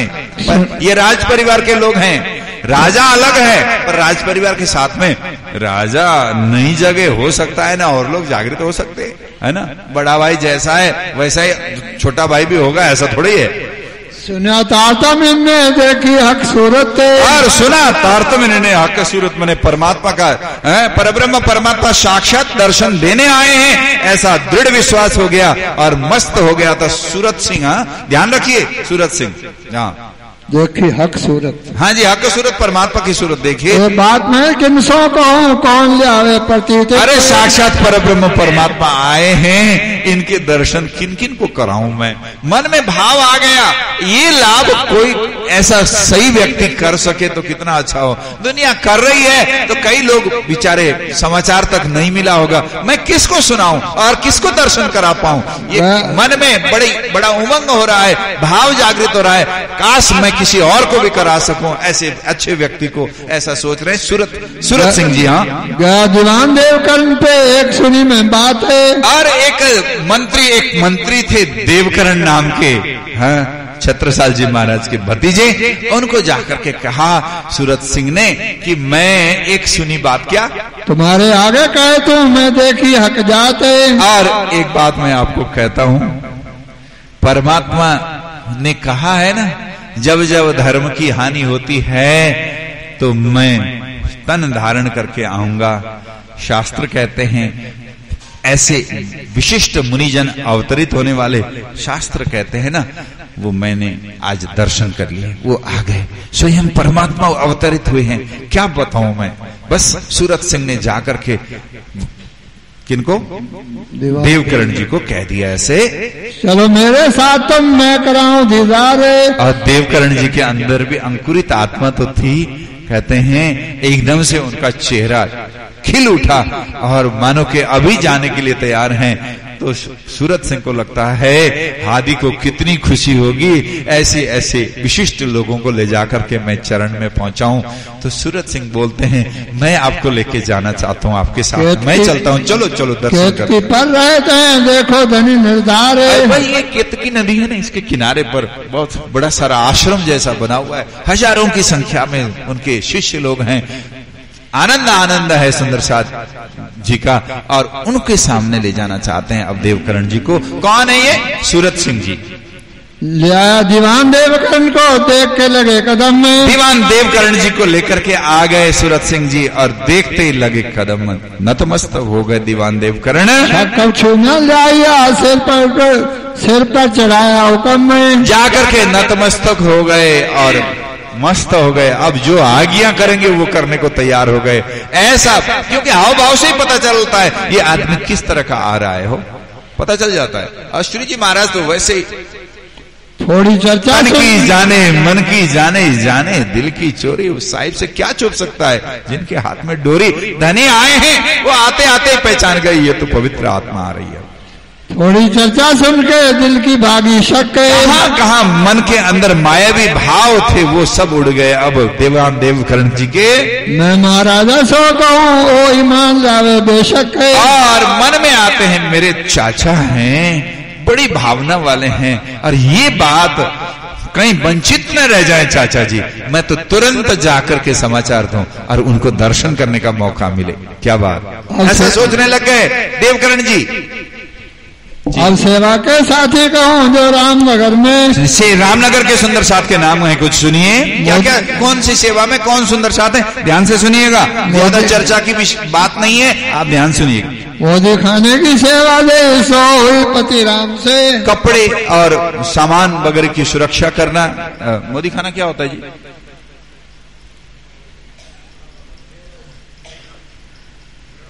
हैं? अच्छा। आज की भाषा में वेयर हाउस। जहाँ कपड़े भी हैं, जहाँ अनाज भी है, मसाले भी हैं, स्टोर है, उसका सारा देखभाल करना। देखभाल ऐसे थोड़े होता है, ताला लगाकर बैठ गए। बरसात के दिनों में कीड़े भी लग जाते हैं, उनको सुखाना भी होता है, संभालना होता है एक एक चीज़ का। वो कौन करते हैं? सो हुई पतिराम से, पतिराम भाई करते हैं। सुनिए, आगे बोलिए। हाँ जी हाँ जी। बाबूजी कहते हैं सेवा के नाम है। कौन सी सेवा में कौन है? आप बड़े अच्छे से सब समझदार हैं सुंदर सा सुन जाएँगे क्योंकि चौपाई थोड़ी है। अब बस थोड़ी सी है। सुनिए अब। अभी तो पचास से पही है। बस बस बिल्कुल थोड़ी है। केशव दास और जयंती हुए श्यामल पति राम के। हाँ और जयंती पानी पिलावत है साथ की सेवा जयंती भाई जल पिलाने में माहिर हैं वो बात तक हाथ से सौदा ले आवत है इन समय वो कुलदास है। हाँ जी। कुल अख्तियार खान श्यामा का था गरीब दास खास है। हाँ गरीबदास जी विशेष ध्यान रखते हैं। में खेमदास और गंगा राम है। और संतदास गोवर्धन पीछे रसोई में जी? में भी करते हैं। इन सबों पर दरोगा रहता था वृंदावन हाँ सारी चीज़ों का ध्यान रखना वृंदावन भाई करते थे। लकड़ी जंगल की टहल रहे बराड़ के सुंदर साहब थे वो। लकड़ी लाने में माहिर थे अच्छी अच्छी लकड़ी चुन के लाते थे जंगल से। गामने में रहता है ये जो निर्मल दास दास बड़ा स्वर अच्छा था गाते थे। सेती शामिल रहे भाई मुकुंद दास जी भी गाने में बड़े माहिर थे। श्री भाई जी गावने में रहे संग गोदावरी भाई जी महारानी भी गाती थी गोदावरी बहन भी थी साथ में भाई अम्मा गावे सनंदा वाणी के प्रकरणों का गायन करते थे। और चौकी दो जिनस की ये गावे बारे अपने। और समय समय पर बारी बारी से गाया जाता था उस बारी बारी में गाने वाले दास नित्याने रिजावे राज सब हाँ जी हाँ जी नित्य प्रति निर्मल दास जी तो आगेवान होते थे सबके और साथ आरती में रहते हैं लाल मुकुंदास आरती के समय तो कोई कुछ बजावे कोई कुछ गावे है ना? मुकुंदास जी लाल दास जी आगेवान होते थे आरती में। दास पखावज में सब सिरे निर्मल दास है। आ, बाजे बजावने में होते थे उत्तम दास जी निर्मल दास जी सब आगे आगे होते थे। और बनमाली दास शामिल रहे आरती में तैयार है तो सभी जाते हैं ना स्वर में स्वर मिला के आरती गाते हैं। सेवा अपनी मैंने नए नए करें विचार। अपने अपनी सेवा में ऐसा लगता था कि क्या सेवा और बढ़ चढ़ करके करूँ। कैसे सुंदर साथ की सेवा में बढ़िया से बढ़िया मैं लाभ ले सकूँ? श्री जी की सेवा ताल है कन्नड़ गावने में। हाँ जी ताल बजाने में खिमाई दास खिमाई दास खिमाई भाई हैं और कन्नड़ गाने में आगे हैं। कल्याण कला पर जमावत है ऐसे आरती में। अब ये और संगीतकार लोग बताएँगे। छबील दास बजावे शंख मुझे लगता है संगीतकार लोग जानते हैं होते हैं करे मगन है। एक मिनट बाबूजी वो कला क्या होता है कला जमाना? मुझे लगता है कभी कभी टेलीविज़न में हम देखते हैं। शायद वो कला होगा। है ना? ताल के साथ में हाथ का इशारा कर देते हैं। वो क्या होता है? संगीतकार लोग जाने बैठे हैं कई लोग। ठीक आरती संध्या समय होता है करे मगन हुए निशंक हाँ कहे छबिल दास आरती संध्या समय होता है संध्या के समय में। संध्या मने? संध्या क्या होती है? हैं? संधि। जहाँ संधि है? कौन सी संधि? रात और दिन की संधि प्रातः काल और रात और दिन और रात की संधि सायकाल। और ऐसा भी कहा जाता है त्रिकाल संध्या होती है। पूर्वान्न और अपराह्न बारह बजे। उस समय भी आरती आरती वैसे पाँच पाँच बार होती है सुंदर साथ जी। तो ये सब सुंदर साथ आरती के समय शामिल होते हैं। ग्यारह उत्सव कौशल्या के पधराए घरों श्री राधे हाँ यहाँ कौशल्या बाई ने ग्यारह उत्सव किया हो। दमदार थी लगता है। हज़ारों की संख्या में सुंदर साथ को लेके घर जाना सबको सत्संग कराना सबको जीवाना करना ये कौशल्या सेवा करे पाँच सौ पूरे मनोरथ काज सेवा की भावना को पूर्ण किया और आनंद लिया कौशल्या बाई ने। दो उत्सव तिवारी उदय घरों पर जाए अपने। दो दो बार तो उत्सव तिवा क्या उदय तिवारी करके उन्होंने किया। एक भतीजा गासी जान गुरु वैरागी अरे। बैरागी गुरुजन हैं इनको तो करना चाहिए। उनका भतीजा था उदय का घासी करके उन्होंने किया। रामजनी भागवती तिनकी महतारी ने हाँ जी हाँ जी। उत्सव कर पद राय जान पने अपने। महतारी बने माता। उनकी माता ने भी घर में चरण रखवाए श्री जी के। मकरंद में उत्सव किया तन मन धन सौंपे। और सब कुछ समर्पित कर दिया। मकरंद भाई तो क्या कहते हैं? कदमों लाभ ठाड़ा रहे कछु रखा ना पीछे। कुछ रखा ना पीछे कुछ रखा ही नहीं सब कुछ समर्पित कर दिया श्री जी के हमारा दत्ता दगड़ा आए बराड़ से। बराड़ के सुंदर साथ है हमारा दत्ता दगड़ा सन्मुख हुए साथ में। सुंदर साथ में आगेवान बनकर के सेवा में शामिल हुए ये। देवी काका जयंती इनकी उत्सवे है। जयंती काका बड़े फ़ेमस है याद रखना जयंती काका। क्या करते हैं? उन्होंने भी अपने घर में पदरवाया श्री। पधराए नो घरों संग लिए सेवे। और हर तरह से सेवा करते हैं परिवारजन के साथ में मिलकर के। जयंती काका ने भी अपने घर में श्री प्राणा जी महाराज के चरण रखवाए। हिरामन बड़ाई ने करी उत्सव रसोई। बड़े थे बड़े ही लकड़ी का काम करते थे हीरामन भाई। आ, उसने भी बड़े भावना से श्री प्राणा जी महाराज को घर में पदराया और ऐसे ये सब सुंदर साथ क्या है। ये गड़ा गड़ा और आसपास के क्षेत्र के सुंदर साथ हैं। घर में पधरवाए और श्री जी को अच्छा जी थोड़े कहा। संघ में चल पड़े ये सब साथ में है अब। श्री राज साथ को बुलाए सेवा इनसे भली भई। श्री राज जी महाराज की सेवा की श्री प्रणय जी महाराज की सेवा भली भई इनसे। बड़ी सेवा की है और आगे, भी करते रहेंगे। साथ में मजल आए गड़े एक मास तेरह दिन और सात दिन लगाकर गढ़े में पहुँचे और एक मास तेरह दिन तक यहाँ रहे। हुक्म हुआ श्री राज का जाओ सुल्तान पे मोमिन। ने धाम के धनी की जय। अभी भी श्री प्राण जी महाराज को लगता है, वो पवित्र आत्माएँ कभी किसी तरह से भी जग सकता है। लालदास जी, एक काम करो। जाओ, सुल्तान के पास जाओ। दिल्ली चले जाओ आप। समाचार दे दो। हो सकता है कभी तो दीन दयाल के भनक पड़ेगी कान कहा किस समय कौन सा समय उसके लिए उपयुक्त होगा? और जग जाए जाओ। सुल्तान के पास में औरंगज़ेब बादशाह के मिलने के लिए संदेश देने के लिए कितनी बार भेजा अब भी भेज रहे हैं। गड़े में आए मिली बाई धर्मा डोकरी। श्री प्राणनाथ प्यारे की। ये धर्मा डोकरी भावों से भरी हुई है ओ। थोड़ी सी मुझे लगता है ये नाम और इसके हाव भाव को देख थोड़ा सा भारी सा शरीर बुज़ुर्ग सफ़ेद से बाल साड़ी सी है सिर पर डाली हुई है ना? ऐसी माता। ईमान लाई सुनते कछु शक न श्री जी महाराज की चर्चा में आई तो गलित गात हो गई एकदम से। गल गई पिघल गई और समर्पित हो गई। हमेशा के लिए तारतम ग्रहण कर लिया। अनंत राम आया और आया घनश्याम इनके और सदानंद निष्ठा में। सदानंद जी राम उज्जैन का और वासु केसर रहे उदयती के मोती जाली मोहन धन भाई इन पर रहे। इस समय जागे सुंदर साथ के नाम है। बहनी बहन थी करमेती परवाने मानिक और पूर्व और लक्ष्मी आई जाने। हाँ और गोवर्धन और भट्ट मुकुंजी देवी दास हरखो गले में आय रूप कदोंदी विंदा बिहारी संदास वैश्य दुर्जन सिंह जे हाँ जी, वैश्य दुर्जन सिंह ने राज परिवार के लोग हैं। सिंह कदमों खांडे राय खांडे राय सूरत सिंह कीरत सिंह ये राज परिवार के लोग भी आए दर्शा धर्मोला रतन और कुशल सिंह मधुकर रहे हाँ जी। मैं राम बड़ई वहाँ का सुनिए सुनिए। मयाराम वैद्य वहाँ का वहाँ का वैद्य था मयाराम मयाराम आए श्री जी के चरणों में लगे तो श्री जी के अंग संग होकर के चले। ये मयाराम जी का प्रसंग आएगा। अष्टप्रहर की सेवा में सुनिएगा सुंदर शाह जी। बड़े ज्ञानी हैं।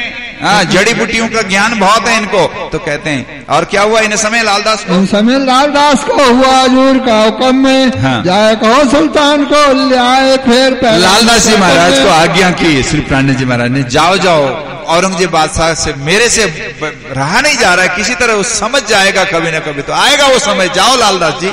पूस सुद पाँच को बीजू दई खबर रहे हाँ पौष शुक्ल पंचमी के दिन बिरजू ने एक समाचार दिया। क्या बिरजू भाई? रा, राम रगन राजा ने स्थल खोजो भली तर रहे बेचारा रामनगर के राजा के अंदर इतनी दुश्मनी है ना? जो रहने का ठिकाना बनाया था वो क्या कब्जा करने फिर आने वाले हैं? क्या श्री जी महाराज? अकल का दुश्मन। वो क्या करता है? अस्तल खोदो भली तरह केतकी के किनारे पर जो बहुत लंबा सा सब सुंदर साथ को रहने का बनाया था ना उसको देख करके छीड़ता था तोड़ दिया उसको रामनगर के राजा ने। सुन कान दुख पाया हुआ गला खराब है। और श्री प्रणय जी महाराज ने सुना तो दुख लगता है अरे यार बेमतलब में काय की ईर्ष्या कर रहा है ये? जो खोजा दिखा रहे हैं ऐसे लोगों को। जो खोजा स्थल को ताको रहे न पकड़ो ताबे। और कहते हैं ज्यू खोद्या अस्तल को, त्यों ताको रहे न पकड़ो ताए, ताब कहते हैं। उसके बाद उसकी स्थिति और डामाडोल होती गई, सत्ता करीब करीब हाथ से जाने सी लग गई, जब से अस्तल खोदा। जब देवा, देव कर्ण विदा भय, जब पूछी श्री जी ने बातें। देवकरण जी, जो सूरत सिंह जी लेके आए थे, है ना तारतम ग्रहण कर लिया था। जब देवकरण विदा भय, तब पूछी, विदा होने के लिए मैं, मेरे चाचा जी हैं, छत्रसाल जी, उनसे मेरे को बड़ी इच्छा है, मैं कहूँ आपके आने की आगमन की बातें, और बड़ी भावना रखते हैं, और मेरी बड़ी अभिलाषा है, कम से कम आपके दर्शन तो कर ले, और कृतार्थ करे अपने जीवन को। ऐसा लगता है। इसलिए श्री जी महाराज मुझे आज्ञा दीजिए प्रणाम करने गए। तब अपना जाने के लिए आज्ञा लेने के लिए। तुम अपना ठाव छोड़ के और बोले क्यों जाते? थोड़ी देर बैठाया श्री जी ने दीवान देवकरण जी को। रामनगर के दीवान थे देवकरण जी जो छत्रसाल जी के भतीजे थे। और उनको बैठाया समझ में नहीं आई तुम छत्रसाल जी के भतीजे उस परिवार के। और तुम तो हाँ मऊ और पन्ना क्षेत्र के हो है ना? और ये रामनगर के राजा के मंत्री बनने यहाँ कैसे आ गए? क्या बना? क्योंकि एक राजा दूसरे पास के राजा को देखना पसंद नहीं करता और तुम आकर के इसके मंत्री बन गए। क्या बात बनी? अब दीवाने ही एक बात पर आए रिसाए। और दीवान देवकरण जी ने सारी बात बता दी। एक बार ना श्री जी महाराज ऐसा हुआ था परिवार में थोड़ी खटपटी हो गई और मेरे को गुस्सा आया। गुस्सा आकर के मैंने सोचा पड़ोस के राजा के पास ही जाऊँ। तब से यहाँ आकर के मंत्री बन गया। तब यहाँ रह गए वहाँ जाने न पाए। और तब यहाँ आया तो यहाँ के राजा ने पकड़ लिया मंत्री पद दे दिया छोड़ के जा ही नहीं पा रहा हूँ। क्या करूँ श्री जी महाराज? बता दिया सारी बात बताई। तब श्री राजे ने राज ने कहा तुम आए काजे और श्री प्राणा जी महाराज ने कहा कोई गुस्सा नहीं कोई क्रोध नहीं कोई बिगाड़ने थोड़े आए हो।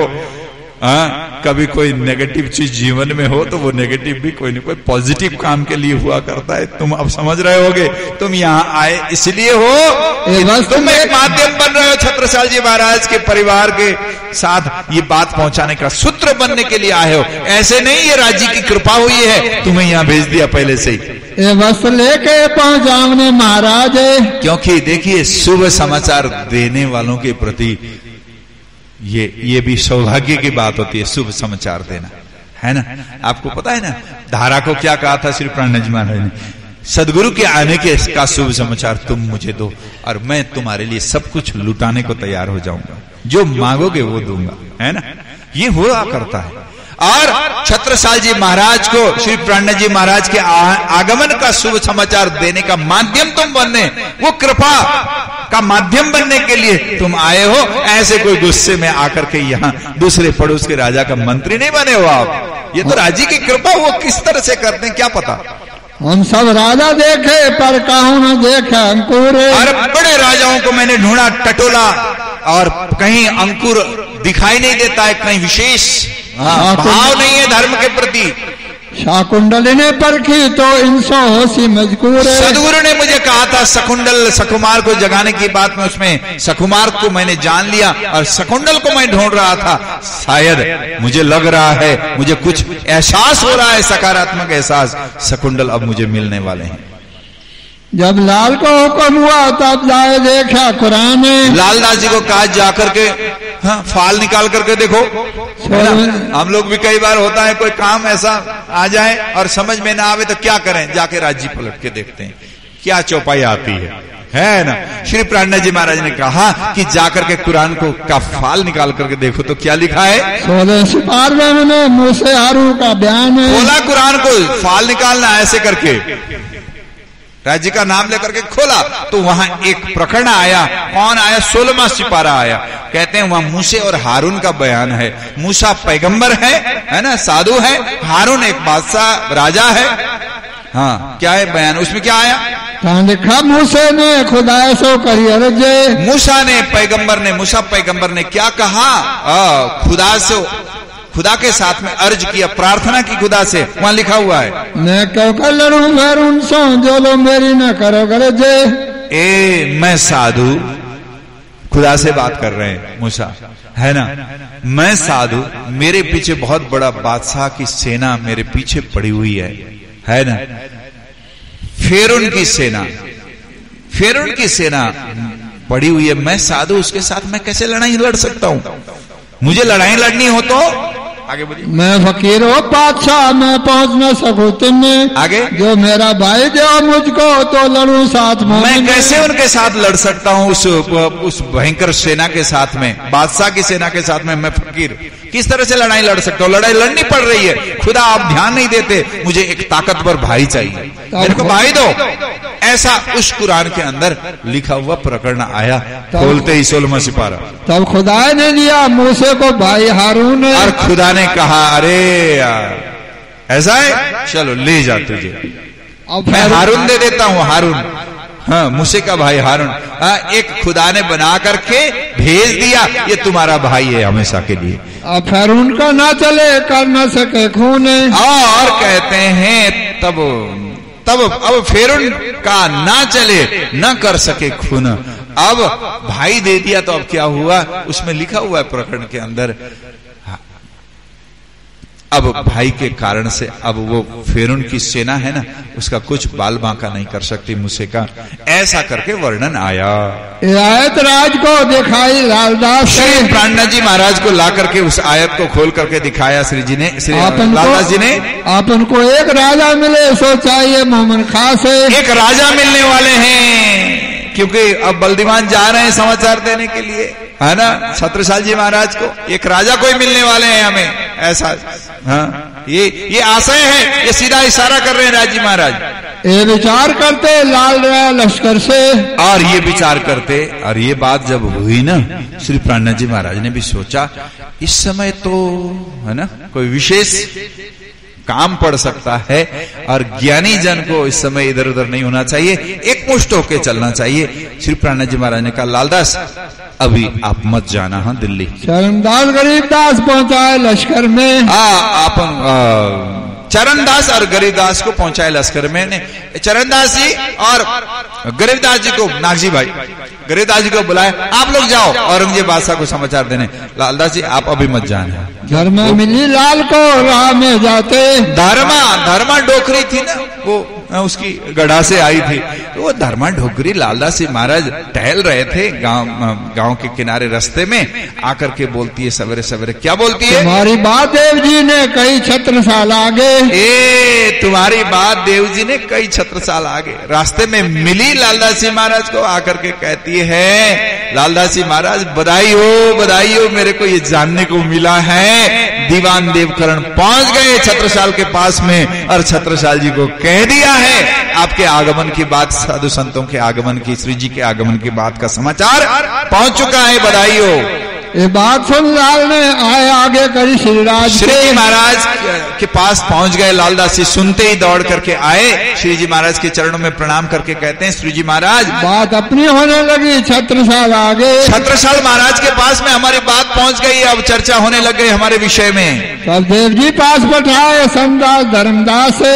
तब देव जी पास पठाए संतदास धर्मदास। धर्मदास जी और संतदास जी दीवान देवकरण जी गए हैं ना उनके पास हाँ, श्री प्राणा जी महाराज भी आतुर है छत्रसाल जी महाराज से मिलने के लिए।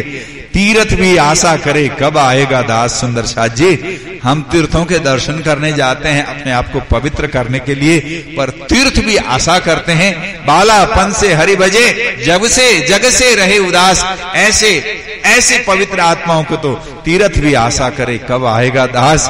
ऐसे ऐसे पवित्र हृदय, है ना? पवित्र आत्माओं को मिलने की अभिलाषा तो परमात्मा की भी होती है। श्री प्राणा जी महाराज से अब रहा नहीं जा रहा है दीवान देवकरण गए हुए हैं तो उनके साथ मिल करके उनको साथ देने के लिए तुम भी जाओ करके यहाँ भेजते हैं किसको भेजा जी? चरण दास हाँ संत दास और नरनदास जी को भेजा। जाओ जाओ तुम भी जाओ। कोई ज़रूरत पड़ सकती देवकरण जी को सहयोग करने के लिए जाओ। पातिलेट पहुंचाई कई संदेश खास पत्र लिख करके दिया संदेशा भेजा श्री प्राण जी महाराज ने अपने हाथों से छत्रसाल जी महाराज के लिए। फिर अग्रिय से भेजे लाल उत्तम जीवन ने श्री प्राणा जी महाराज गड़ा से निकल चुके हैं सुंदर साथ जी अगरिया से। सुंदर साथ को भेजा संतदास धर्मदास को।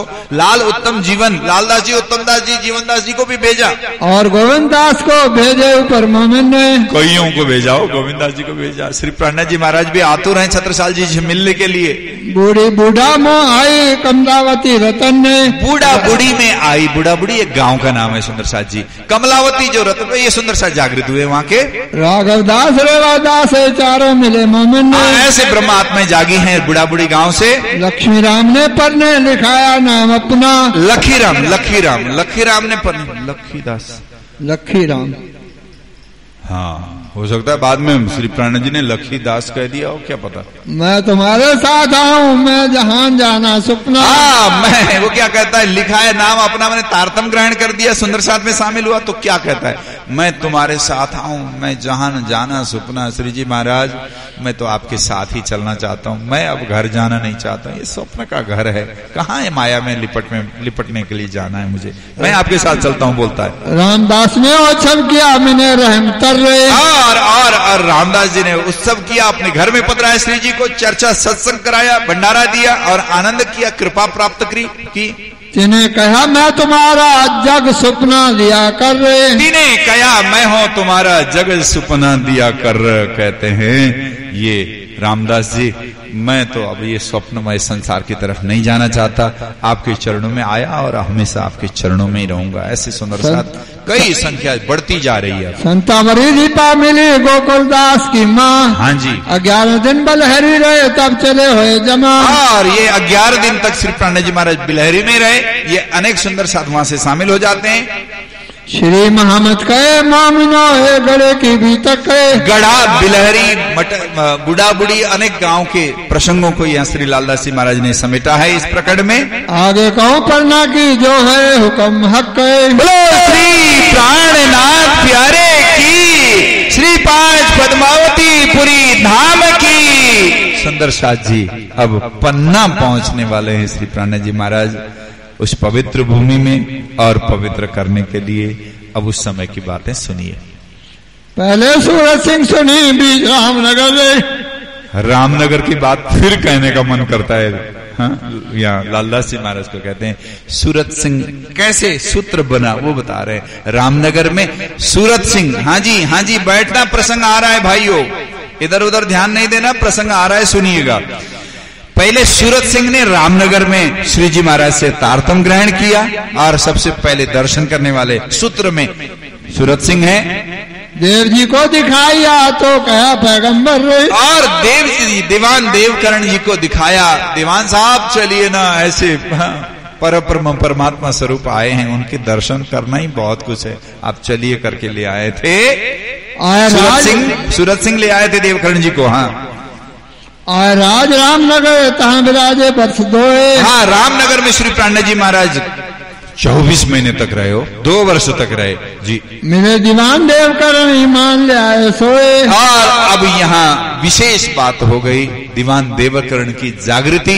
ये सामान्य जागृति नहीं है और समर्पित हो गए थे वहाँ। रामनगर के अंदर की बात है ये।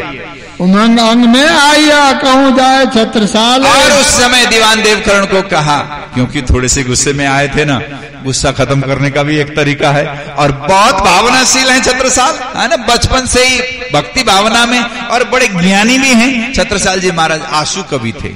आँसू कवि थे, जहाँ जैसी परिस्थिति होती थी, तुरंत देवी के भक्त थे पहले राम के भक्त भी रहे हैं। और जैसा भी हो भक्ति के समय उनके मुँह से अचानक ही चौपाइयाँ बन जाती थी कविताएँ बन जाती थी। अनेक कविताएँ छत्रसाल जी महाराज की हम लोग संध्या के समय भी गाते हैं। हाँ।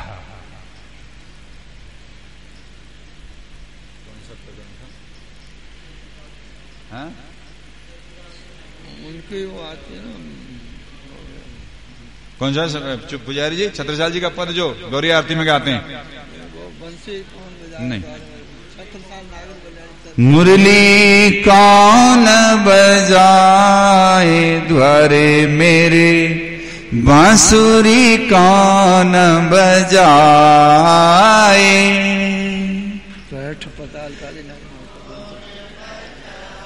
छत्रसाल जी का पद है। अनेक हैं। सदानंद मंगल मेरे ये सदानंद मंगल मेरे ये महाप्रसाद और चरणामृत महाप्रसाद और चरणामृत ये सुख साथ में पाइए। छत्र साल भजो धाम धनी जी को महाराजा भजो। प्राणपति जी को और देवन सो क्या चाहिए सदानंद मंगल मेरे सदा आनंद मंगल में। अनेक। मेरे ख्याल से मेरे ख्याल से वो भी है। प्रातःकाल बोलते हैं क्या? झीलना, प्रातःकाल की झीलना बोलिए। मारा वाला जी मारा वाला जी मारा वाला जी चलो जमुना जल झीलिए। पाट घाट की देवरी में जाना मत कीजे रात रत्न जड़ित के मोहल में कीजे रंग बिलास मारा वाला जी चलो जमुना जल झीली। ऐसे अनेक पद। श्री प्राणा जी महाराज को प्राप्त करने के बाद तो पद आपको पता ही है, पूर्ण ब्रह्म ब्रह्म से। है ना? ऐसे अनेक पद बनाते थे, क्योंकि ये पद बनते ऐसे नहीं है। जहाँ भावना ना हो, पद नहीं बनते सुंदर शाह जी। वो भावना से होतप्रोत है। बल दीवान देवकरण जी को लगता है, इतने धर्म में डूबे हुए व्यक्ति को, यदि ऐसे परब्रह्म स्वरूप स्वामी जी के दर्शन करने का मौका मिले। ये समाचार मैं ये खुशी का समाचार लेकर के जाऊँ तो कभी कोई कोई कोई कहीं गुस्सा आया भी हो तो वो गुस्से की बातें खत्म ही हो जाएगी और निहाल हो जाऊँगा।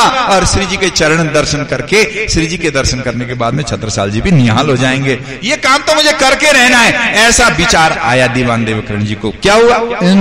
रामनगर से चल के मऊ आए। श्री प्राण जी महाराज के दर्शन करने के बाद में इसी कार्य के लिए छत्रसाल जी से मिलने के लिए रामनगर से दीवान देवकरण मऊ चले आए। खबर करीम महाराज को दिया पैगाम पहुँचाए। समाचार पहुँचाया पहली बार समाचार लेकर के जाने वाले दीवान देवकरण है श्री प्राण जी महाराज। इधर पधार रहे हैं। ऐसी विशिष्ट शक्ति संपन्न स्वयं पंचवधिक देव में होते हुए भी वो परब्रह्म स्वरूप है जाकर के दर्शन करना चाहिए। ऐसा समाचार लेकर के।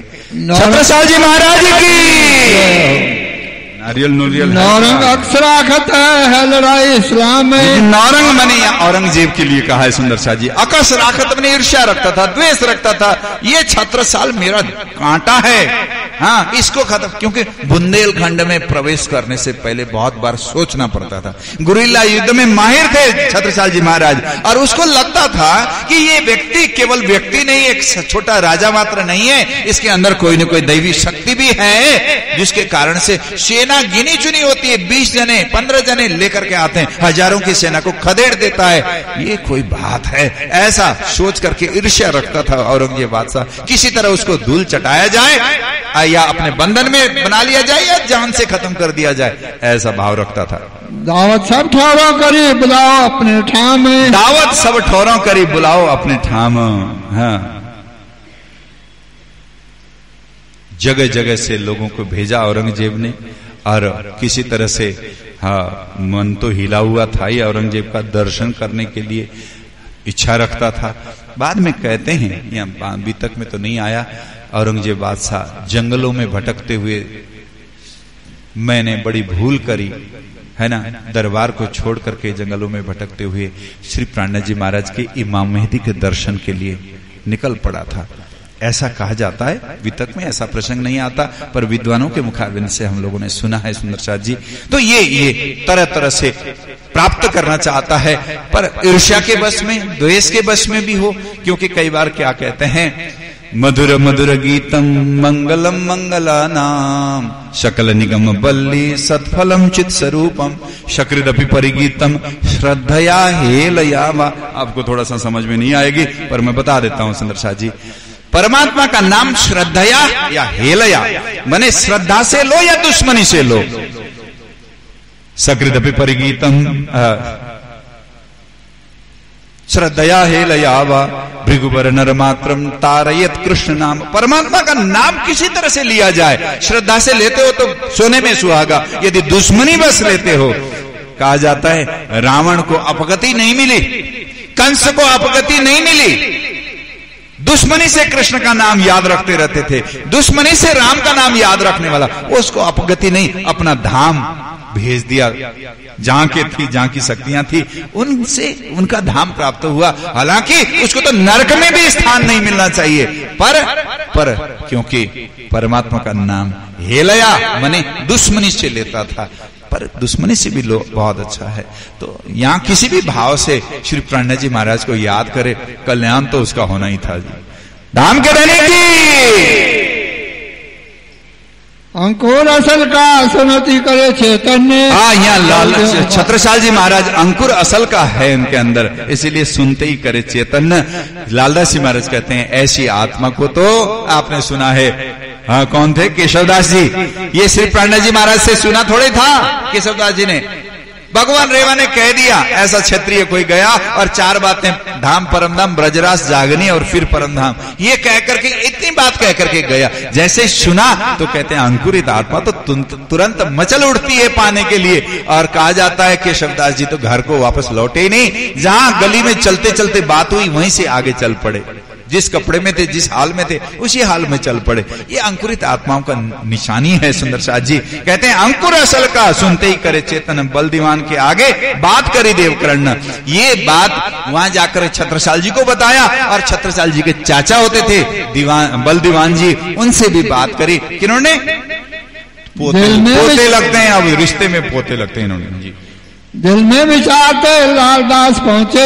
ये विचार कर रहे थे चर्चा हो रही थी दो तीन दिन तो। हाँ। इतने में लालदास जी महाराज भी पहुँच गए कहा? मऊ में। आए उत्तम दास आनंद स्वामी राज की श्री पांडा जी महाराज की प्रशंसा की बातें लेकर के यहाँ उत्तम दास जी भी आए लालदास जी भी आए। और छत्रसाल जी महाराज से मिलते हैं खुशी हो रही है। सुने छत्रसाल जी नहीं यहाँ दीवान देवकरण जी से मिल रहे हैं। और छत्रसाल जी तक पहुँचने की बात हो रही है क्या हो रहा है अब? सुने श्लोक महाराज। ने भागवत के कहे? लालदास है। लालदास जी महाराज ने, है ना, क्योंकि राजा हैं, हिंदू हैं, और क्योंकि मुस्लिम सेना से हमेशा परेशान रहते हैं तो मुस्लिमों की बात नहीं बताई।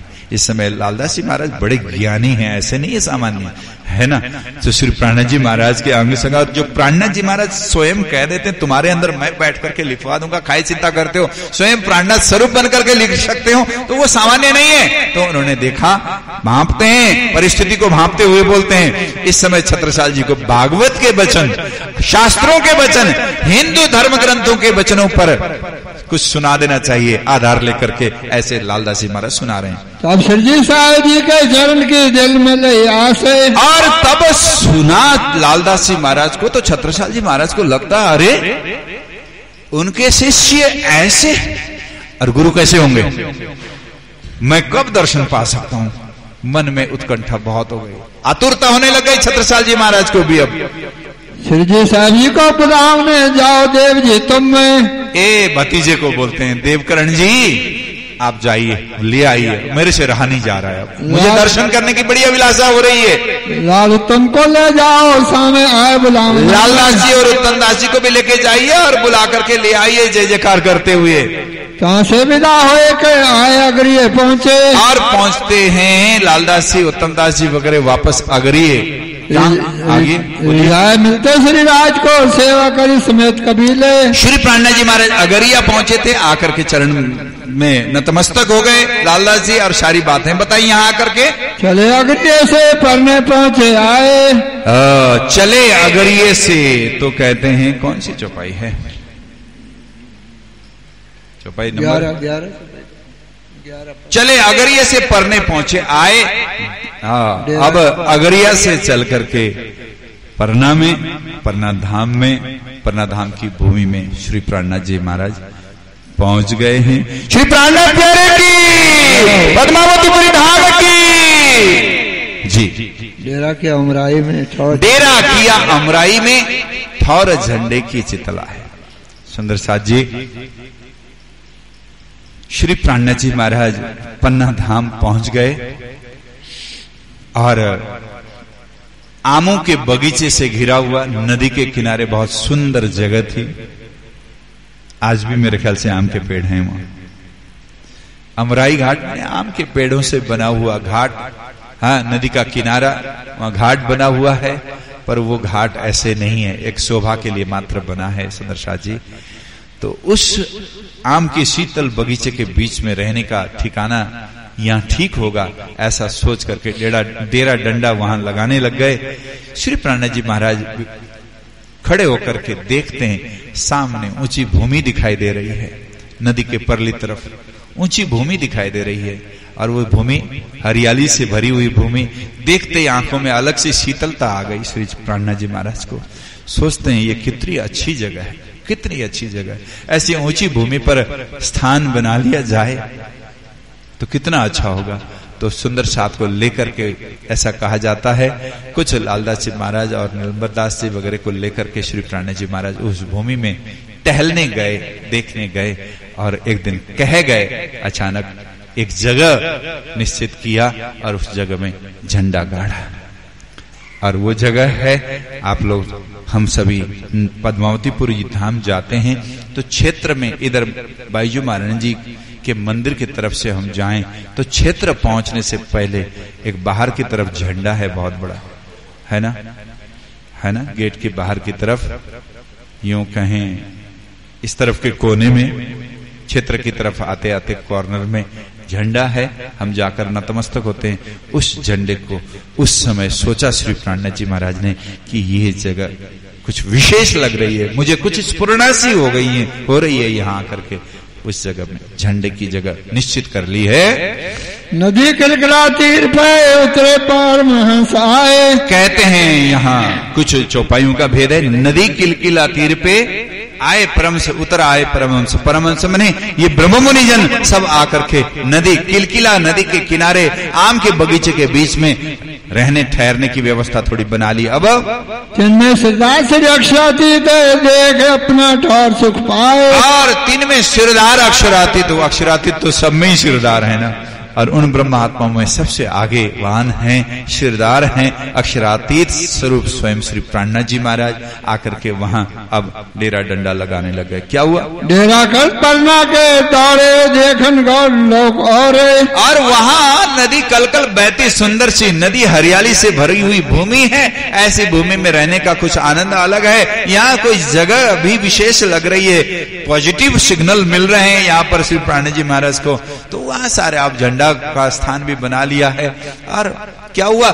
लोगों ने देखा इतने साधु संतों की जमात। आसपास के गाँव के लोग आकर के दौड़े दौड़े आने लगे। क्या कहते हैं? साध तो आए उतरे देखे हम जाए वाठौरे। और लोग कहते हैं हल्ला हो गया चारों तरफ़ बैरागियों की हज़ारों की संख्या में बैरागी आए हुए हैं। साधु संत लोग आकर के हमारे आ, किलकिला नदी उस गाँव के किनारे पर से निकलती है और किलकिला नदी को देख करके ठहरने आ गए यहाँ। ऐसा देख करके साधुओं की जमात के दर्शन के लिए दुनिया लौट दौड़ दौड़ करके आने लग गई।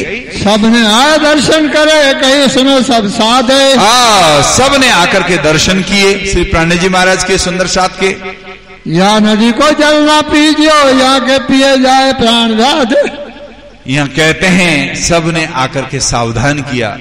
हे संत लोगों धन्य हो ये भूमि जहाँ पर आप आए और हमें दर्शन का मौका दिया। पर पर पर ये ध्यान रखना। आपने सोचा होगा, संत लोग हैं, जल की बहुत आवश्यकता होती है, संतों को बार बार होती है। इसीलिए एक नदी के किनारे, नदी का कल कल बहता जल देख करके आप यहाँ ठहरे होंगे। पर ये नदी का जल है ना, ये जल छूना भी नहीं। छूओगे तो आपकी उंगली में जलन हो जाएगी और जहर का प्रभाव आ जाएगा। इसलिए छूना भी ये ठीक नहीं है। जहरीली, जहरीला जल है इसका। तब सब साथ में मिलके धोया चरण गूठा श्रीराज और ये जब सुना तो श्री प्रांडा जी महाराज के चरणों में परात रखा नीचे और श्री जी के चरण धोए सब सुंदर साथ में मिलकर के। चरणामृत नदी में पीछे नहाए सकल समाज। सब देख रहे हैं गाँव वाले आकर के। हज़ारों की संख्या में वहाँ लोग साधु संत हैं। श्री जी के चरण धो रहे हैं। गाँव के लोग आए, सैकड़ों की संख्या में देख रहे हैं, ये क्या हो रहा है? और लाकर के श्री जी के चरण धोए उसी जल से और उस जल को उठा करके उड़ेल दिया, उस जल में मिला दिया। देखिए, श्री प्राणा जी महाराज के अंदर कौन है, आप जानते हैं। मैं सीधा सीधा बता देता हूँ। पाँचों शक्तियाँ हैं, ये तो आप सब जानते हैं। पर मैं सीधा सीधा कहूँ, श्री कृष्ण ब्रज के अंदर, ब्रज राज तक की छवि श्री कृष्ण की आपको याद है, उसमें परब्रह्म परमात्मा ही है। है ना? अक्षरातीत धनी है।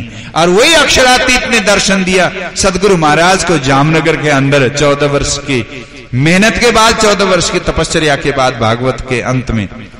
और तारतन दिया। और क्या कहा था? तुम्हारे अंदर आकार में आए के बैठे हम, आप धनी कहाँ जाएँगे करके सदगुरु ने पूछा था। मैं तुम्हारे अंदर आकर के बैठता हूँ। ठीक है? सदगुरु स्वयं के अंदर श्री कृष्ण आए।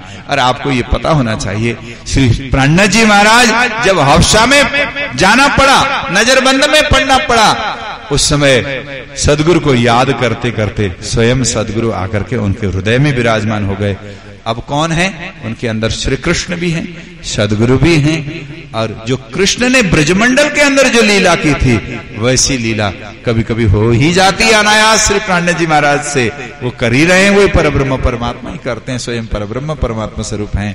तो क्या हुआ था आपको पता है ना? पैठी पाताल काली नागनाथ्यो फण पर निरत कराए। आगे, आगे? पहले पहले विष की नदी अमृत की पहले। हैं? पहला चरण विष की नदी अमृत की उसकी आगे की चौपाई बोलिए ना जो मैं बोल रहा हूँ। भेजी खबर ये तो हो गया। मैं हैं? वो तो बोल ही दिया ना उससे आगे।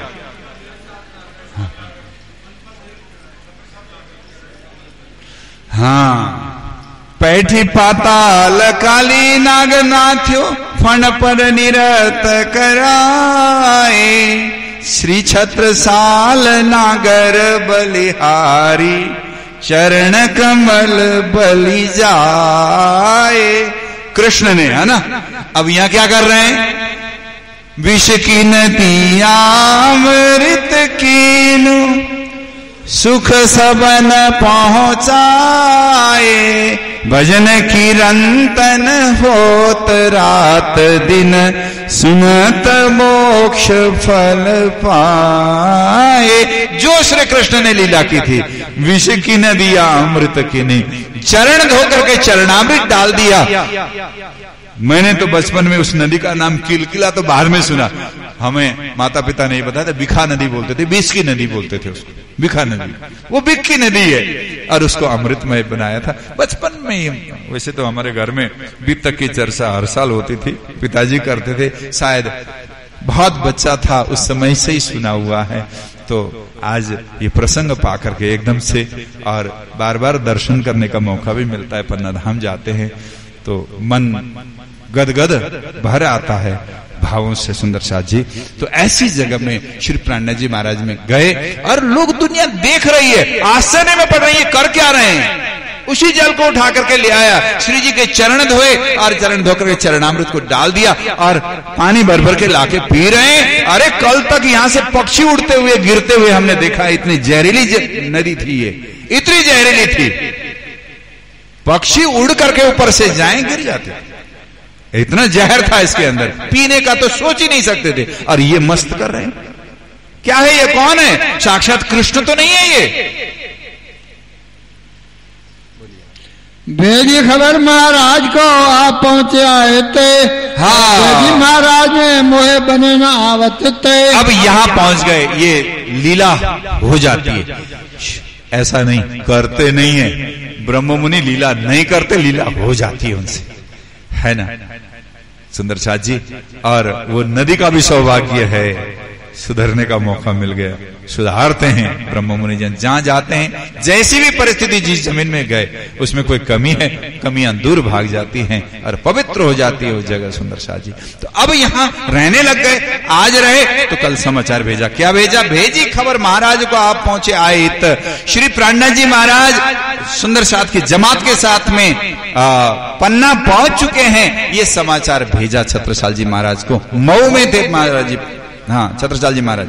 कहे भेजी महाराज ने आए बोलिए। मोहे बने न आवत कहे भेजी महाराज ने मोहे बने ना आवनतित क्योंकि परिस्थिति बहुत भयंकर थी। अफगन शेर अफगन की सेना चारों तरफ़ से घेर करके मऊ भूमि को हथियाने के लिए बिल्कुल तत्पर होकर के पूरे बारूद आदि के साथ में लड़ाई करने की कोशिश कर रही थी और ऐसे समय पर छत्रसाल जी महाराज मऊ छोड़ करके बाहर निकले। ये आसान नहीं था। निकल भी नहीं पाते थे और निकले तो फिर वहाँ परिस्थिति खराब हो सकती थी। और ये भी कहा जा अफवाह तुरंत फैलाया जाता है। डर करके भाग गया छत्रसाल, ये भी कहा जा सकता था।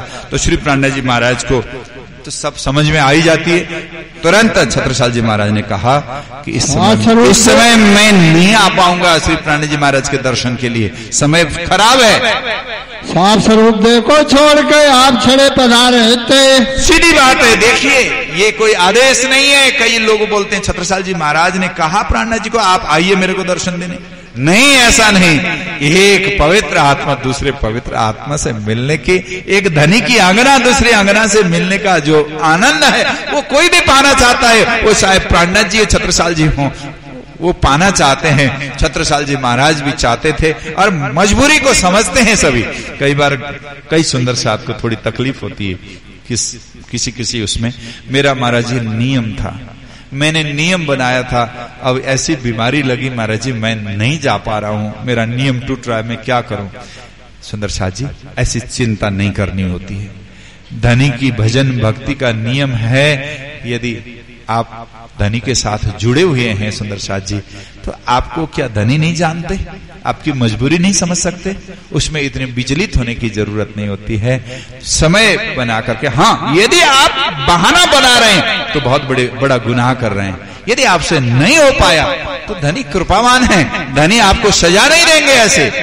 कभी भी राज़ी महाराज सजा नहीं देते। जो कहते हैं वो दुख न दे फुल पाखड़ी, वो कैसे सजा दे सकते हैं?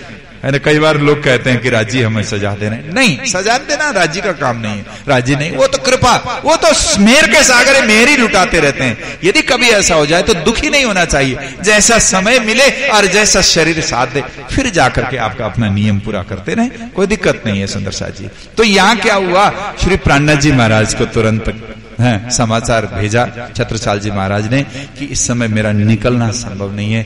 श्री प्राणनाथ जी महाराज मेहरों के सागर हैं, वो सुनते ही तैयार हो गए। हाँ स्वरूपदेव मैंने माता बहनों को सभी को यहाँ छोड़ा हज़ारों की संख्या में। कुछ आठ दस सुंदर साथ को लेकर के श्री प्राणनाथ जी महाराज आगे चल पड़े। क्या हुआ? तो कारज सब सिद्ध हो गई हम पावे सुख नित्य। हाँ कहते हैं तो कारज सब सिद्ध हो गई हम पावे सुख नित्य। छत्रसाल जी महाराज ने पत्र भेजा और समाचार भेजा। कहते हैं मेरे मैं बहुत अभिलाषा है आपके दर्शन की। आप यहाँ आकर के दर्शन दें तो बड़ी, बड़ा कृतार्थ हो जाता, बड़ी कृपा आपकी मानता मैं। हा? सारा कार्य मैं सिद्ध समझता। मुझे दर्शन की पल पल इच्छा है, पर परिस्थिति ऐसी मैं निकल नहीं पा रहा हूँ। जी। चल चले आप पन्ना से मऊ पहुँचे जाए। श्री पन्ना जी महाराज पन्ना धाम से जैसे समाचार मिला वहाँ से मऊ की तरफ़ आगे बढ़े और कहते हैं क्या पहुँच गए मऊ में? क्या हुआ? श्री भाई जी सास रूप दे छोड़ चले सब भाई जी महाराज जी बुज़ुर्ग सुंदर साथ और माता बहनों को यही पन्ना में छोड़ करके श्री प्राणा जी महाराज छड़े सुंदर साथ को लेकर के आठ दस सुंदर साथ को लेकर के चले गए हैं। मऊ पहुँच गए। मऊ में तिदुनी दरवाजे डेरा किया वहीं तिदुनी दरवाज़ा आप सब जानते हैं सबने प्राय दर्शन किए हैं, उस दरवाजे के आज भी वो जगह पुराने को अब थोड़ा सा नया रूप दे करके बनाया गया है। सुंदर शाह जी दर्शन करते हैं। कहते हैं, तिदुनी दरवाज़ा, उस दरवाजे में उस दरवाजे का नाम था। उसके पास में एक जगह ली रहने की और वहाँ रहने लग गए। क्या किया? राजा बेग बदल के दर्शन किए कहा है? और कुछ सुंदर साथ को लेके दस बीस सुंदर साथ को लेके गए हैं। एक घर सा लिया वहाँ रहने लग गए। श्री जी महाराज का काम क्या है? वहाँ रहे और रहने के बाद में चर्चा वार्ता चर्चा हो रही है। बैठे हैं और आसपास के मऊ के और लोग भी आकर के ऐसे ऐसे दिव्य चेहरा देख करके मस्त हो जाते थे। चर्चा सुनने आते और पिघल जाते। ऐसे सारे लोग बैठे थे सैकड़ों की संख्या में श्री जी महाराज के दर्शन करने के लिए। महाराजा छत्रशाल जी आतुर हैं। राजा महाराजाओं का नियम हुआ करता है सुंदर साथ जी। जहाँ जैसी परिस्थिति है, वेश उसी अनुसार बदल करके जाते हैं। अपनी पहचान फट से नहीं बताते। मैं राजा हूँ नहीं कहते। राज पोशाक में एकदम से आते नहीं है। तो कहते हैं उन्होंने शिकारी का वेश बना करके हैं जंगल जाने में शिकार खेलने में जाते समय धनुष बाण भी होता है। हाँ छोटे कपड़े होते हैं भागना दौड़ना पड़े उसके लिए तरकस कमान लेकर के ऐसे वेश में आ गए महाराजा छत्रसाल जी। दूजी देर वेश बदल के कर शिकार को साजे। और ऐसे वेश बदल के आए फिर दूजी बेर वेश बदल करके कर शिकार को सा हाँ शिकारी वेश। सात सबों में बीच में बैठे थे श्री राज। हाँ जी दो बार ऐसे दर्शन किए। तो सात सबों के बीच में बैठे थे श्रीराज सुंदर साथ जी ऐसा है। तोड़ेंगे अंदर नहीं नारियल को तोड़ेगा। ऐसा है ऐसा है सुनिए। ध्यान से कान मेरे को देके जाना बाहर। कान मेरे को देके जाना आपका शरीर और नारियल जाए बाहर। कान मेरे पास ही छोड़ जाना। और कई बार ऐसा होता है अभी वो मौका नहीं आया नारियल फोड़ने का पहले से शुरू हो जाते हैं। मौके पर फोड़े आनंद आता है। जो नारियल लेकर के आए सुंदर साथ जी बाहर निकल जाएँ क्योंकि गलीचे में नारियल का पानी गिर महाराज जी जयकारा बोलेगा तब नारियल तोड़ना पहले ना तोड़ देना। कैसे पड़ेंगे भाई? ऐसे ऐसे पानी तो हटाओ। सुंदर साथ जी मैंने कहा था आपको कान मेरे को देके जाना। हाँ शरीर बाहर ले जाइए कोई बात नहीं। कान मेरे को देके रखिएगा। और यहाँ चौपाई पर ध्यान देना। और जयकारा ज़ोर शोर से यहाँ से बोला जाएगा उस समय आपको नारियल फोड़ना है। है ना? महाराजा महाराजा छत्रसाल जी शिकारी का वेश बना करके एक बार गए। और बड़ी आतुरता से दर्शन करने की अभिलाषा थी। दूर से खड़े होकर के दर्शन किए। अब क्या करें? समझ में नहीं आ रही है क्या करें? और दूसरी बार वेश बदल करके आए तो कहते हैं, दूसरी बार वेश बदल के कर। फिर साथ सबको बीच में बैठे थे श्री राज अब कैसी परिस्थिति है वहाँ, देखिएगा। श्री प्राणा जी महाराज चर्चा कर रहे हैं, सुंदर साथ चारों तरफ़ से घेर करके मस्त हो रहे हैं, चर्चा का आनंद ले रहे हैं। छत्रसाल जी महाराज दूर से आते हैं। और क्या करते हैं? कहा जाए ठाड़े भय छत्रसाल जी महाराज छत्रसाल जी महाराज कहा जाए के ठाड़े भय। जैसे शवा में कई लोगों को पता ना हो ना क्या करते हैं। ऐसे मंदिर में आए तो आकर के मत्था टेकना चाहिए और आराम से बैठना चाहिए है ना? तो छत्रसाल जी महाराज को समझ तो थी पर आज कुछ बुद्धि काम नहीं कर रही है। होश में होते थे। अब आज ऐसी हो, ऐसा होश गुम सा हो रहा है, क्योंकि धनी प्राप्त होने वाले हैं। अब और कोई चीज़ ख्याल नहीं है। अब कोई मर्यादा क्या करनी चाहिए, वो ख्याल नहीं आ रहा है। क्या करना चाहिए? कहते, तरह मूड की लाए। क्या करें, क्या ना करें, समझ में ही नहीं आ रही है। छत्रसाल जी महाराज ऐसे सामने आकर के खड़े हो गए और अब एक ही ख्याल आया, कुछ कहा जाए। क्या कहते हैं? कही बाबा जो राम राम बोलो श्री छत्रसाल जी महाराज की। प्राणनाथ प्यारे की श्री प्राणनाथ प्यारे की राम के धनी की।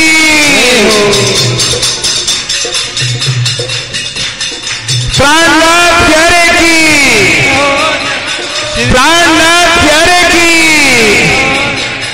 छत्रसाल जी महाराज की। छत्रसाल महाराज की। नाम के धनी की। नाम के धनी की। बोलो, श्री प्राणनाथ प्यारे की जय। आइए सुंदर साथ जी, आइए। अंदर आइए। राज आए मेवारी पर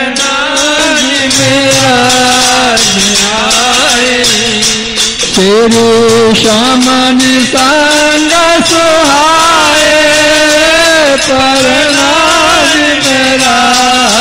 आए। श्याम जी संग सुहाए परनाज मेरा आए। पहले बेर बरज में आए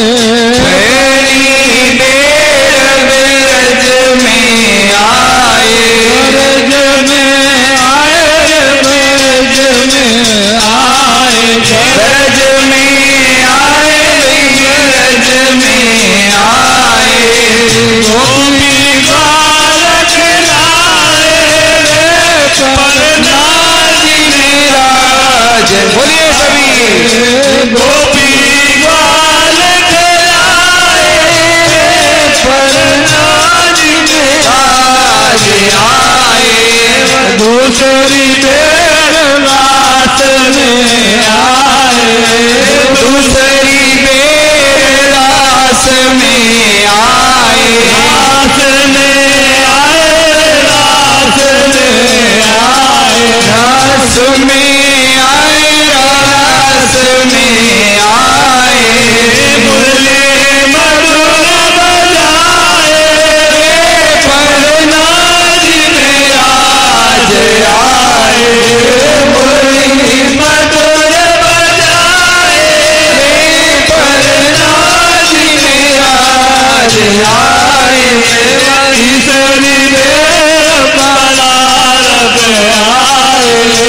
तीसरी बेर बलारब में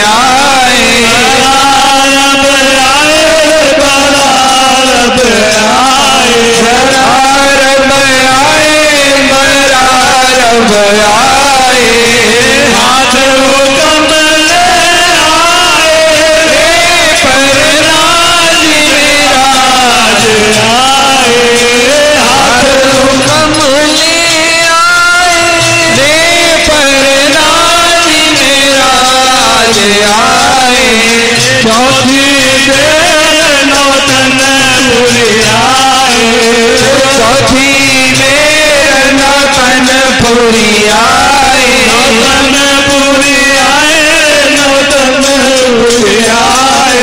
नौतन पूरी आए, नौतन पूरी आए।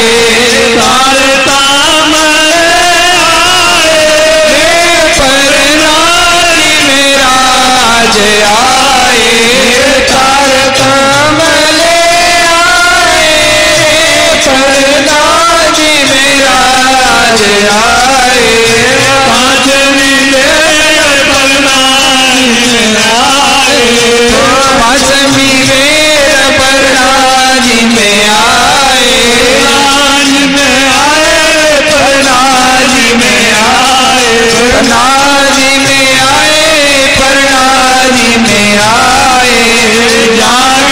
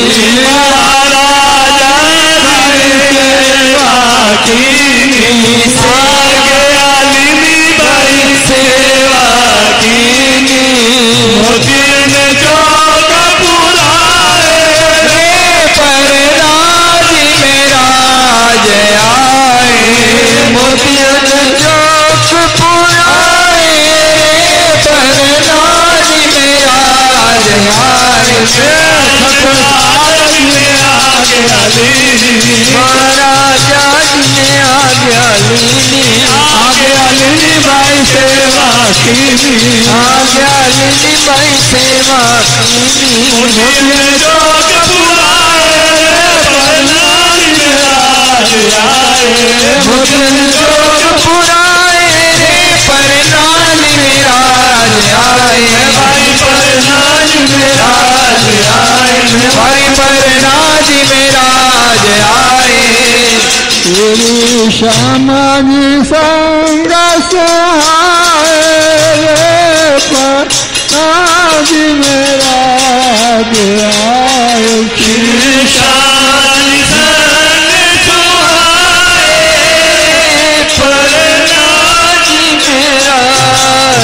आए। बोलो श्री प्राणनाथ प्यारे की छत्रसाल जी महाराज की। सुंदर शाह जी। श्री प्राणनाथ जी महाराज के दर्शन के लिए छत्रसाल जी पहुँचे। अब क्या कहें, क्या करें? नज़दीक मतलब जैसे सभाखंड सी है, वहाँ पर जगह और वहाँ बाहर खड़े होकर के छत्रसाल जी महाराज हाथ जोड़ते हैं और क्या कहते हैं? राम राम बाबा जी राम राम। अभिवादन करते हैं, प्रणाम करते हैं। और मुझे ऐसा लगता है चर्चा ज़ोर शोर से चल रही थी। छत्रसाल जी महाराज नज़दीक आ रहे हैं। श्री प्राणनाथ जी महाराज, चर्चा को रोक करके देखते हैं छत्रसाल जी की तरफ़। मानो कि वो भी अभिवादन करें इसके लिए। चर्चा को रोका। उनके अभिवादन को श्री प्राणनाथ जी महाराज ने स्वीकारा। प्रणाम, स्वीकारा। और क्या कहते हैं अब? बाबा, बैठो इतना है। बैठिए। बाबा मने यहाँ बहुत आदर का शब्द है। एक आपस में महाराज कहा जाता है ना, अरे नहीं महाराज, ऐसा नहीं। हाँ कईयों को भी कहा जाता है, वो आदर से कहा जाता है। बाबा बैठो, श्री प्राणनाथ जी महाराज ने अभिवादन स्वीकार करते हुए छत्रसाल जी महाराज को बैठने का इशारा किया।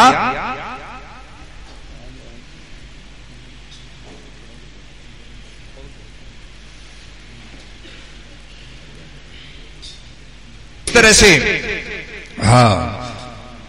श्री प्राणनाथ जी महाराज ने बैठने का इशारा किया तो क्या बोलते हैं? आगे चौपाई। ना जुड़ जाए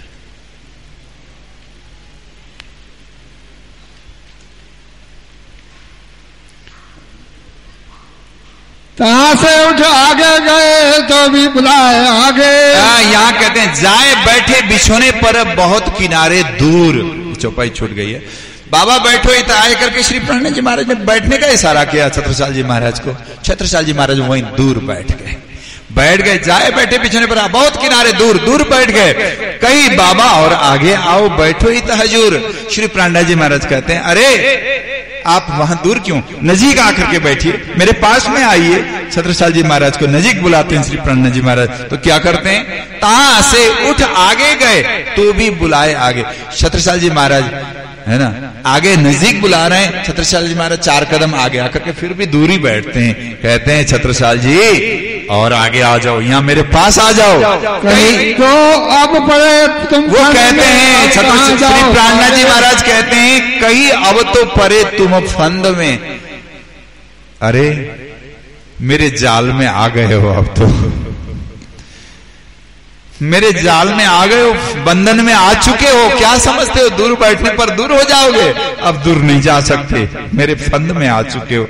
श्री प्राणनाथ जी महाराज ने एक राजा को ऐसे कह दिया। वो राजपना है ना वो खड़ा हो जाता है।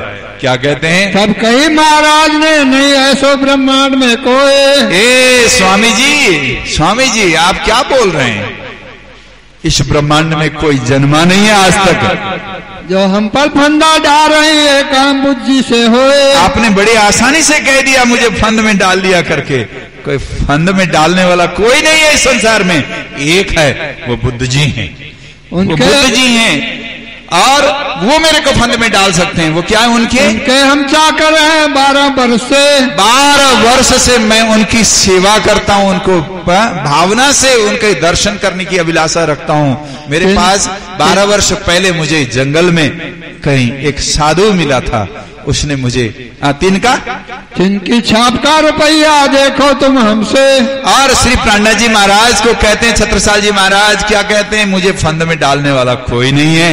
एक बुद्ध जी हैं जिनकी प्रतीक्षा मैं बारह साल से कर रहा हूँ। जिनको याद कर से करके भी मैं पल पल नतमस्तक होता हूँ। और उन्होंने मुझे बारह वर्ष पहले एक साधु ने मेरे को एक सिक्का दिया है। वो बुद्ध जी का सिक्का है। वो सिक्का किसी बुद्ध जी के पास ही हो सकता है। यदि ऐसा सिक्का लेकर के कोई आएगा तुम्हारे पास, उसके चरण नहीं छोड़ना। वो तुम्हारे खाबंद हैं, तुम्हारे मालिक हैं, तुम्हें सब कुछ वही देने वाले हैं। ये याद रखना करके, कह करके गए हैं। मेरे पास वो सिक्का है। श्री छत्रसाल जी महाराज ने उस सिक्के को ऐसा कहा जाता है छत्रसाल जी, युद्ध में भी जाते थे। कभी कहीं भी दर्शन दे सकते हैं तुम्हें वो। ऐसा कहा था, युद्ध में जाते समय भी ऐसा कहा जाता है, एक हाथ में उस सिक्का हाथ में रखते थे, ऐसे मुट्ठी बंद करके।